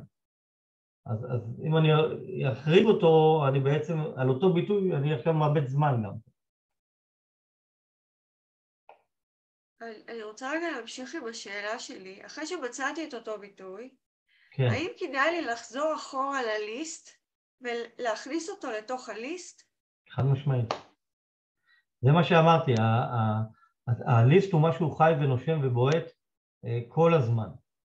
ואחד הדברים שהקמפיינים בעצם אה, אה, נותנים לכם יתרון זה שאתם יודעים על מה מכרתם. ולכן אם אתם תגלו שעל ביטוי מסוים אתם מוכרים הרבה, אתם חייבים ללכת לליסט ולראות שאתם מתקשרים את זה בפרסום, בתמונות. אתם חייבים להבין שאם יש איזה ביטוי שעושה לכם את רוב העבודה, אז אתם צריכים לחזק אותו בתמונות, לתת לו איזה תמונה משלו, שאפילו הוא מופיע שם. אתם צריכים רק לראות שהוא מופיע בכותרת, יכול להיות שלפני זה הוא לא היה מופיע בכותרת. נקודת ההתחלה של ליסט, אף פעם לא תהיה נקודה, אחרי חצי שנה, הליסט הזה אם עשיתם ליסט טוב אז הוא לא יהיה 100, הוא לא 180 מעלות יתהפך, אבל אתם תראו שכל מוצר יש לו את הדברים האחרים שעובדים לו יותר טוב מאחרים. אני רוצה את הדברים האלה ללכת ולחזק, כי בסוף אני רוצה למכור על אותו ביטוי. ככל שאני אתקשר את הדבר הזה יותר בצורה יותר נכונה, אני גם אמשיך למכור על הביטוי הזה. יש לי שאלה גם לגבי ליסטינג. Mm-hmm. והליסט. אמ, יש איזשהו עניין שלאחרונה באמת אה, אה, יש כמה מילות מפתח שאני רואה שהן מוכרות יפה. ואני במהלך התקופה, אפשר להגיד, של החודשים הראשונים, הייתי כל פעם, אתה יודע, מכניסה, מורידה מילה פה, מכניסה מילה שם, וזה, וזה היה, כאילו זה עבד מאוד טוב. אה, פתאום ביום בהיר אחד אני באה עוד פעם לעשות שינוי של הכותרת, אה, ולעשות אותה קצת הרבה יותר אה, אה, טובה ויותר יותר אופטימיזציה. ואני מקבלת חסימה מאמזון וכל פעם שאני פונה אליהם אז הם אומרים לי שאני צריכה להוכיח שמה שרשום בליסט זה באמת המוצר שלי. אז אני שולחת להם תמונה, אני מסבירה להם שבסך הכל עשיתי פה אופטימיזציה אבל הם כאילו לא מסכימים לשנות לי את הליסט רציתי לשאול אם אתה מכיר כזה דבר, כי הם, הם ממש מתווכחים איתי שאני אוכיח להם שזה המוצר שלי ואני כבר לא יודעת מה לעשות. טלפונית את מדברת איתם או אימיילים? טלפונית, מיילים, כל פעם אותו דבר. כאילו אני מרגישה כאילו אני מדברת עם רובוטים. תראי לנו שזה המוצר. באיזה שעות את מתקשרת אליהם? אני חושבת שניסיתי את כל השעות, גם בוקר, גם צהריים שלנו, גם לילה שלנו, פשוט ניסיתי הכל. יש, פשוט... לך, יש לך brand registry? לא, אני עובדת על זה. התחלת רישום של brand registry? כן. דרך מי? אה, איך קוראים לו? מישהו ישראלי? מישהו... אה, לא, לא, מישהו לא ישראלי. ומה הוא אומר? האמת שלא שאלתי אותו את זה. אבל עוד לא, עוד לא, אנחנו רק בשלב הראשוני של החיפוש של השם של המותג. אז אה, אנחנו עוד לא התחלנו, לא פניתי לאמזון, בוא נגיד את זה ככה, עם, אה, עם ה brand. כן, אבל, אבל זה ביטוי שהוא לא brand, זה ביטוי כללי. כן, כן, כן, זה ביטוי כללי לגמרי. כרגע, שנייה. את הליסט שלי, לשנות את המילים, לשנות את הסדר שלהם, להוסיף מילים, לגרוע מילים, זאת אומרת... כן, מה? אמ, את האמת זה, זה מקרה קיצון. מיכאל, אתה נתקלת בזה? אתה כל כך הרבה ליסטים יש לך, אתה נתקלת בדברים כאלה? אולי זה צירוף משהו... של מילה, שעם המילה אחרת אסור. אני כן. אגיד, אני אגיד, אצלי היה משהו דומה, היו לי שלושה מקרים, אחד באמת על ה brand, זה נפתר מהר מאוד כי כבר היה בתהליך של רישום, הוא עוד לא היה רשום, זה דרך יעל קבילי, היא פשוט שלחנו שה brand אה, בתהליך רישום, איזשהו משהו הוצאנו, ושלחתי צילומים של brand ונפתחו. עוד שני מקרים היו לי פשוט עם מילות מפתח שבמקרה עליתי על זה, מילת מפתח אחד היה ג'יפ, ודוגרי לא ידעתי שזה משהו רשום, פשוט הכנסתי לכותרת מילה ג'יפ, נחסם תוך 15 ש- שניות, לקח לי יומיים להבין שזה בגלל המילה הזאת, ובנוסף היה לי מקרה עם מילה אה, שזה אביר בעברית, כן? זה לא מילה רשומה, אבל משום מה במשחקים אה, הם בדקו לי ליסט שבוע, בסוף אישרו את זה, כן? אבל אה, פשוט לא, לי ב- לא. לא, בש- לא מאשרים. בשם הכנסתי את המילה קנייט, אין לי מושג למה, הם סגרו לי ליסט, ו... אבל זה לא היה בכותרת, זה היה ב... בשם של המות... כאילו, זה היה גם בכותרת וגם ב-SKU. מיכאל, אני אגיד לך יותר מזה. אני אפילו עשיתי איזשהו ניסוי לראות, אולי יש איזה משהו. ניסיתי, עשיתי רק שינוי קטן באות. השארתי את כל הכותרת הנוכחית, עשיתי שינוי קטן באות, גם את זה הם לא אישרו לי. הם כאילו יש לי שאלה, אה, אה, ניסית לשנות את הכותרת בחזרה למה שהיה? הכל ניסיתי, הכל. גם לשנות, גם להחזיר. הם לא, הם רוצים שאני אוכיח להם שהשינוי הזה הוא... יש לי תמונה שלו. אני לא מבינה מה הם רוצים. אמרתי, אולי אתם נתקלתם בכזה דבר. אתה רוצה להגיד משהו? תוכיחי לנו שהשינוי הזה זה המוצר שלך. שלחתי את האריזה, שלחתי תמונה של האריזה עם הברקוד, שלחתי את, את המוצר עצמו. אני לא יודעת מה הם רוצים, לא הוספתי איזה מילה שהיא מיוחדת, רק מילים כלליות כאלה. לא יודעת. אמרתי, אולי אני אשאל אותך, אולי שמעת על כזה מקרה. הם אני פשוט... יכולה להגיד לך שבייבי כן. שאוור גיפט זה מילה שהיא אסורה למשל לשים. את הצירוף הזה. baby shower gift. כאילו, הצירוף הזה, הם, הם לא מאשרים. אז זהו, אז, אז הם גם לא אומרים, נגיד את זה אין לי בזה, אבל הם, הם לא אומרים לך גם מה לא בסדר. בדרך כלל בדרך כלל הם ב suspended, כן אומרים. בדרך כלל הם כן אומרים מה כן. המילים שהם לא בדרך כלל מאשרים. ב suspended, ב suspended אפשר לראות את הסיבה, ואם את לא רואה סיבה, אפשר לשלוח, אני, היה לי מקרה, פשוט הייתי יותר מהר מהם, סגרו לי ליסט ולא הבנתי למה, אה, אה, ושלחתי להם אימייל, ודוגרי שלחתי את זה בערב בישראל, קיבלתי מהם תשובה, אחרי שקיבלתי מהם תשובה, בערך שעתיים אחרי זה קיבלתי גם אימייל רשמי למה, למה הליסט נסגר. אבל אפשר, לפ... בדרך כלל בסוספנדד הם מציינים למה, ו... ואפשר גם לפנות אליהם ולשירות. ניסינו, אה, ניסיתי הכל, באמת מיכאל, ניסיתי הכל, עזוב, זה באמת, אני... אה, הם ניסו גם הם בעצמם לשנות את זה, הם אמרו לי בוא ננסה, אולי אני אצליח, ואז הם אמרו טוב, זה גם המערכת של אמזון לא נותנת גם לנו. אני חושבת שאולי באמת אני אנסה לחכות לברנד, ואז אולי אם הם יראו שאני מגישה לברנד, אז אולי הם כן ייתנו לי, אני כמה אעדכן. הביטוי הזה, כמה הביטויים האלה קריטיים לך?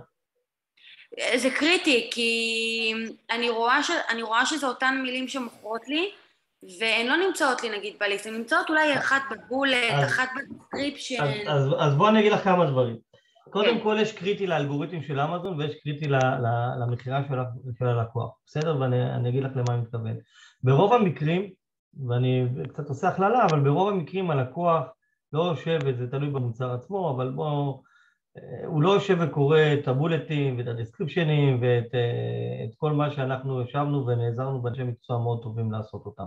הוא יקבל את האינפורמציה שהוא צריך דרך התמונות, כותרת ואולי בולט הראשון או השני, אבל שם זה ייגמר פחות או יותר, וה-A פלוס, והסדר הולך ויורד כמו שתיארתי. אז, אז אם זה ביטוי שמאוד חזק, כמו שאמרתי, תייצרי לו תמונה.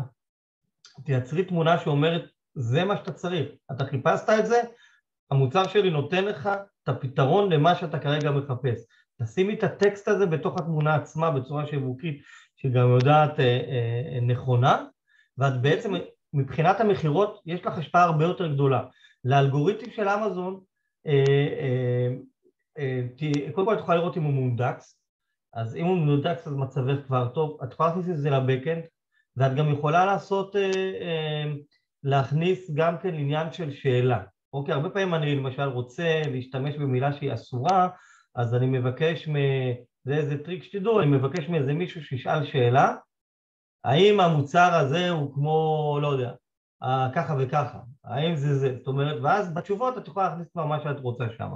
אז בעצם זה גם האלגוריתם של אמזון גם סורק את, ה, את השאלות והתשובות, אז, אז קצת להכניס את הדברים לפרופורציות, בסדר? זה, זה, זה, זה החלק הקטן של ההתעללות שאת תעברי מאמזון, במסע הזה שקוראים לו אה, מסחר באמזון. אז, אז קודם כל מה שחשוב לך זה בעיקר, חלק מהאינדוקס הוא, אם אמזון רואה שאת מוכרת על הביטוי הזה, אז הוא גם מאנדקס אותה, זאת אומרת זה לא רק מה שמכניסים בטקסט עצמו, אה, ומבחינת הלקוח תתקשרי את זה דרך תמונה.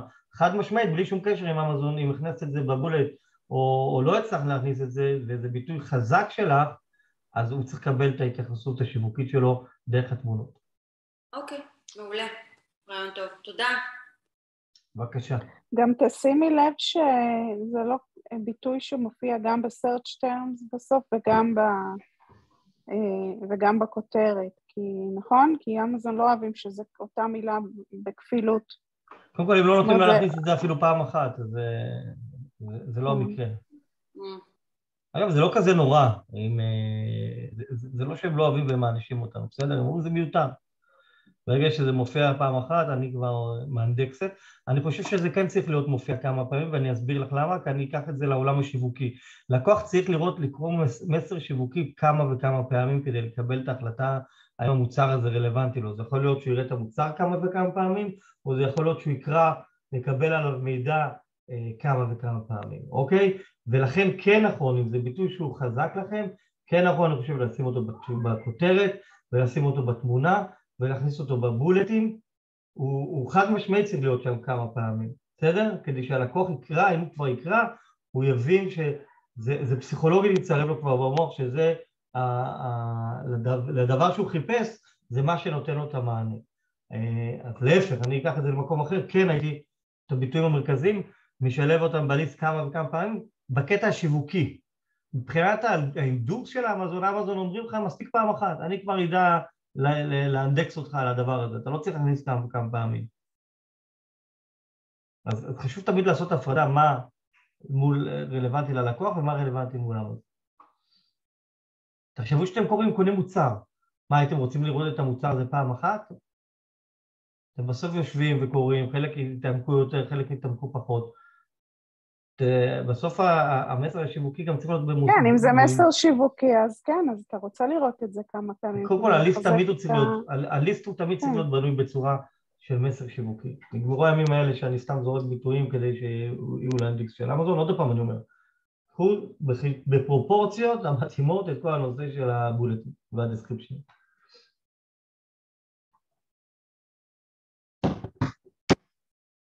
שאלות נוספות? כן, לי יש עוד שאלה, בבקשה, לגבי ה brand registry. כן. אה, ברגע שאנחנו עושים את הרישום ב... ברגע שעושים את הרישום ב-USPTO ומקבלים את ה-serial number, אה, אז אנחנו צריכים לעשות את אותו תהליך באמזון כדי להתחיל עם, ה... עם ה-A-list, תוך כמה זמן זה נפתח הדבר הזה? כאילו, ואז אנחנו מקבלים בעצם את האופציה להיות brand registry באמזון. לא, ה-A הוא ברגע שאתה... יש תהליך של אקסלרציה מסוימת באמזון, זאת אומרת, אה, יש תהליך מול הרישום מול הרשויות האמריקאיות, שזה לוקח איזה שנה או שנתיים, ויש תהליך מול אמזון שבעצם הם פותחים לך את האפשרות, אם זה להשתמש בכלים של הפרסום אפילו, בדיספליי ובברנד, ושם גם כן את האפשרות אה, אה, להוסיף A+. זאת אומרת, אם אתה פתוח כבר לשלב הראשון, אתה צריך לקבל כבר את האפשרות להשתמש ב-A+. אוקיי, אז כאילו, אני מנסה להבין פשוט, הם מצפים לקבל... נאמבר הזה ורק אז... רגע, יש תהליך רישום, יש תהליך רישום באמזון עצמו, אה, ואפשר לעשות את זה לפני שבכלל יש לך את הרישום, אלא רק התחלת את הרישום, היום לא חייבים לעשות את זה דרך אקסלרטור, אני אומר דוגרי בגלל שעשיתי את זה דרך רונית מיעל קבילי, היא פשוט שלחה לי לינק, הייתה איתי בטלפון מלא מלא, אין לי מושג מה היה שם, פשוט מילאתי וזה עבד. זה לוקח בין שבועיים לחודשיים עד שזה נפתח אחרי שמילאת את זה. חודשיים זה למגזימים.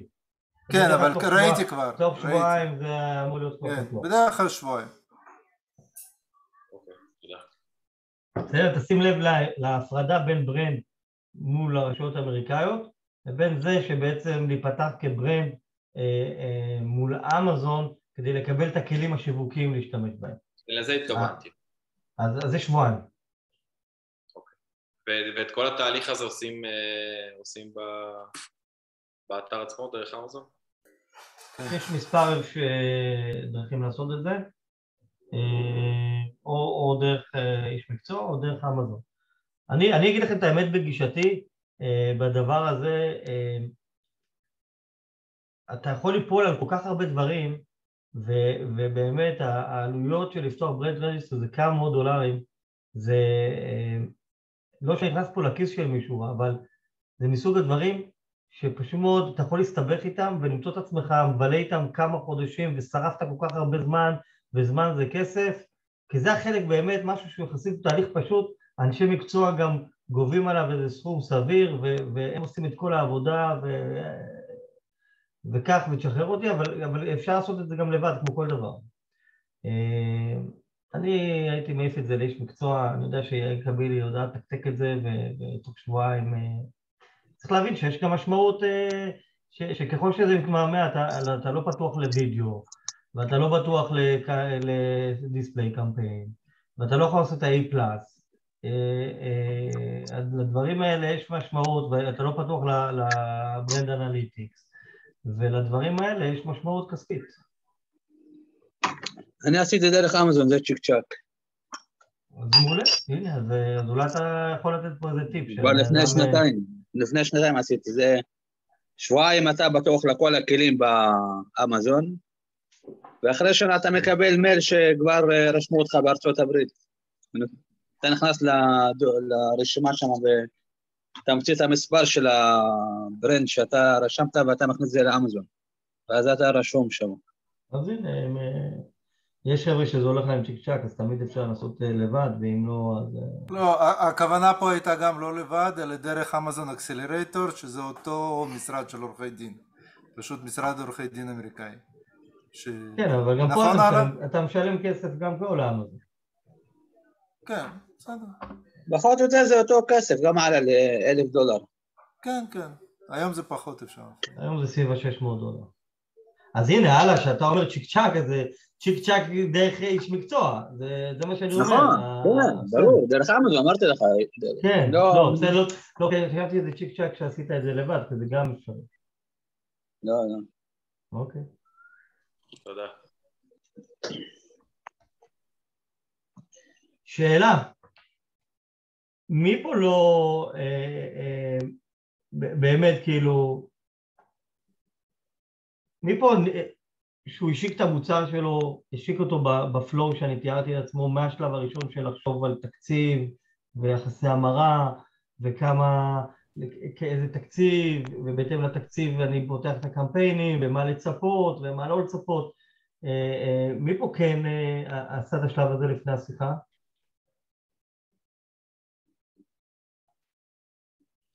לא, אה, אני חושב שזה בסדר גמור, אנחנו פשוט מאוד, זה עניין של ניסיון של הרבה מאוד שנים עד שבנינו את המתודולוגיה הזאת, אז אני שמח שהמפגש הזה היה לו את הערך המוסף שלו. כאילו, אה, לא בסדר, זה בסדר גמור, אני אני העליתי את זה כי אני לאחרונה כן, נתקלתי אי אפשר בזה כל להגיד הזמן. שידענו את זה לפני. אז, אז אה, יופי, אז אני שמח. אה, אה, כמה דברים. אחד, אני לא רוצה קצת לבאס אתכם, אבל אנחנו, אני חושב שנכון לכולנו שהמפגשים האלה יעברו לפעם בשבועיים, אוקיי? אה, אנחנו נעביר אותם לפעם בשבועיים, לפחות לתקופה של הקיץ, זו תקופה ככה של... אה, גם אצלי יש את העומס, אה, לפני כל מפגש כזה אני צריכים להבין, יש פה הכנה מראש של לא מעט שעות של לשבת ולהתאים את התוכן המעניין, אה, והזמן הזה קצת מצטמצם לי, בגלל אה, שיש לי שלושה זעתותים אה, בבית שזה, וגם אני רוצה שיהיה קצת מרווח כדי שאתם תצברו כל מיני אתגרים ותיתקלו בבעיות ואז זה באמת ייתן איך גם בצד השני שיהיה לכם יותר שאלות לשאול אותי מאשר שנפגש שיהיה שבוע אחרי שבוע אז כרגע לפחות עד סוף הקיץ אנחנו נעביר את הכיתת PPC לפעם בשבועיים, בסדר? מה שתגיד. יופי. הכל בסדר, מעולה. יופי, אז, אז, אז אנחנו ניפגש עוד שבועיים. אני מציע לכם באמת, יש לכם שבועיים לרכז שאלות, או נושאים שעליהם תרצו לדבר, בסדר? כ... כ... כי אני רוצה ש, שזה יהיה משהו שהוא לא רק אני בא אסטרטגיות וישר בא מ, מלמעלה, זה מאוד חשוב האסטרטגיות, אבל בסוף אני רוצה לתת לכם מענה לבעיות היומיומיות האלה שאתם נתקלים בהן. אה, אנחנו מוצאים את עצמנו כמעט שעתיים, אבל בסוף המסגרת זה חצי שעה אה, אה, שאני חופר, אתם שומעים, ואחרי זה אתם חופרים ואני שומע ועונה, אז, אז זה, זה מספיק זמן יהיה לנו גם לדבר הזה להרבה תכנים. אז, אז באמת תרשמו, אם יש לכם דברים שאתם רוצים שאני אדבר עליהם באיזה מפגש, תרגישו חופשי אה, להעלות את זה כשאלה, אני חושב שזה יביא הכי הרבה, ולתייג אותי בקבוצה, ואז אני ארשום את זה. בסדר? כאילו לא לשלוח לי בפרטי, אלא להעלות איזה שאלה, שזה יקבל חשיפה אצל עוד, עוד סלרים. היום אני חושב שהגיע לנו עוד איזה כמה חדשים שאני פחות הכרתי, אני רוצה שיהיה פה דינמיקה שכל הזמן ייכנסו לנו סלרים חדשים גם כן לכיתה, כי סלרים חדשים מביאים הרבה ערך מוסף של שאלות אה, אה, וחוסר ניסיון, וכל שאלה, השאלה הזאת לא תתאים לי, אבל שמישהו אחר ישאל והיא כן תהיה רלוונטית אלינו. אמ, אז חשוב מאוד שבאמת יהיה, יהיה זרימת חמצן חדש אה, לקבוצה, כי אני חושב שכולם ירוויחו מהדבר הזה. אמ, אז, אז פשוט תשאלו ותתייגו אותי ואני אכניס את השאלות האלה לאיזה ליסט ואני פשוט סביב זה אבנה את הנושאים של המפגשים הנוספים שלנו. אני אשמח לשאול. קדימה. לשאלה לעכשיו? כאילו תשובה לעכשיו? שאלה לאחד המפגשים הבאים, כל הנושא אוקיי. של חיפוש, אה, מילות חיפוש. מחקר מילות מפתח. דיברנו על זה, זה יהיה, נכון? כן, דיברנו, אבל כאילו רציתי אה, לחזק. כן, יחזק, יהיה מחקר מילות מפתח, יהיה בניית איש מכירות, יהיה... אני שמח שאת אומרת את זה, כי זה חלק מהדברים שאנחנו ניגע בהם. שי, אפשר שני דברים? כן, רק, זה... משהו, רק, רק משהו אחד אני רוצה להגיד, אה, אה, במפגש הבא או מפגש אחרי זה, אני מציע לכם להצטרף, אני דיברתי עם מייק, מייק אני מזכיר לכם, המבנה של המפגשים שלנו התחיל מהבסיס של ה playbook שהוא כתב, שעליו אני תרגמתי את זה לעברית והוספתי דברים משלי, אבל את הבסיס הזה הוא באמת, הוא בחור מדהים עם המון ידע, הוא בעלים של משרד פרסום אה, מאוד גדול. אפרופו קורבין 9, או אם ראיתם את הפוסט של ניר, אמזון, קורבין 6, סליחה, קרבן 6, אני לא טועה את השם שלהם בדיוק, ראיתם את הפוסט של, של ניר רווה שהוא הולך, אז, אז הם קנו אותם, הם קנו אותם, את החברה שלהם, שזה PPC Entourage, אני אמרתי לו, בוא מייק, אני רוצה שכמה סליידים, אתה, אתה, אתה מה שנקרא, תספר, אתה תדבר, אה, והוא אמר שהוא בשמחה, אז אני אנסה אולי שהוא, שזה יהיה במפגש, לנו ככה איזה אורח צבעוני אה, מחו"ל. אה, אז אני אעדכן את זה גם בקבוצה, ואני ממליץ בחום לא לפקשש את המפגש הזה איתו. אני, אני חושב שכדאי להגיד שיש מחר מפגש וניר ממש משקיע בזה, בכל מקום אפשרי הוא מפרסם אותו. כן. נראה שהולך להיות משהו מאוד מעניין. כן, וגם אחרי זה גם חופש, ויש קצת חופש, ו... אבל חברה רצינית היא בעצם מתחרה של אילום כן כזה, היא קונה, היא קונה חברות שמייצ... שנותנות כלים, ובעצם מאגדת אותם תחתה. אה, שחקן מאוד מרכזי. אני מאמין שאצל ניר יהיה מאוד מעניין אה, ביום חמישי, שווה להיות שם. זה לא חמישי, זה שלישי, זה מחר. שלישי, אה, מחר, אוקיי. מחר, מחר. ואני אפרסם את המועד עם מייק, ואני אומר לכם, באמת, הוא טיפוס מאוד צבעוני, כאילו הוא מאוד מאוד חכם, הרבה ידע, אה, שווה שווה לבוא לשמוע אותו. טוב, תבוא. יאללה, חברימוס, לילה טוב. ניפגש עוד שבועיים. תודה רבה. נפגש עוד. שבועיים. Bye-bye. Bye-bye.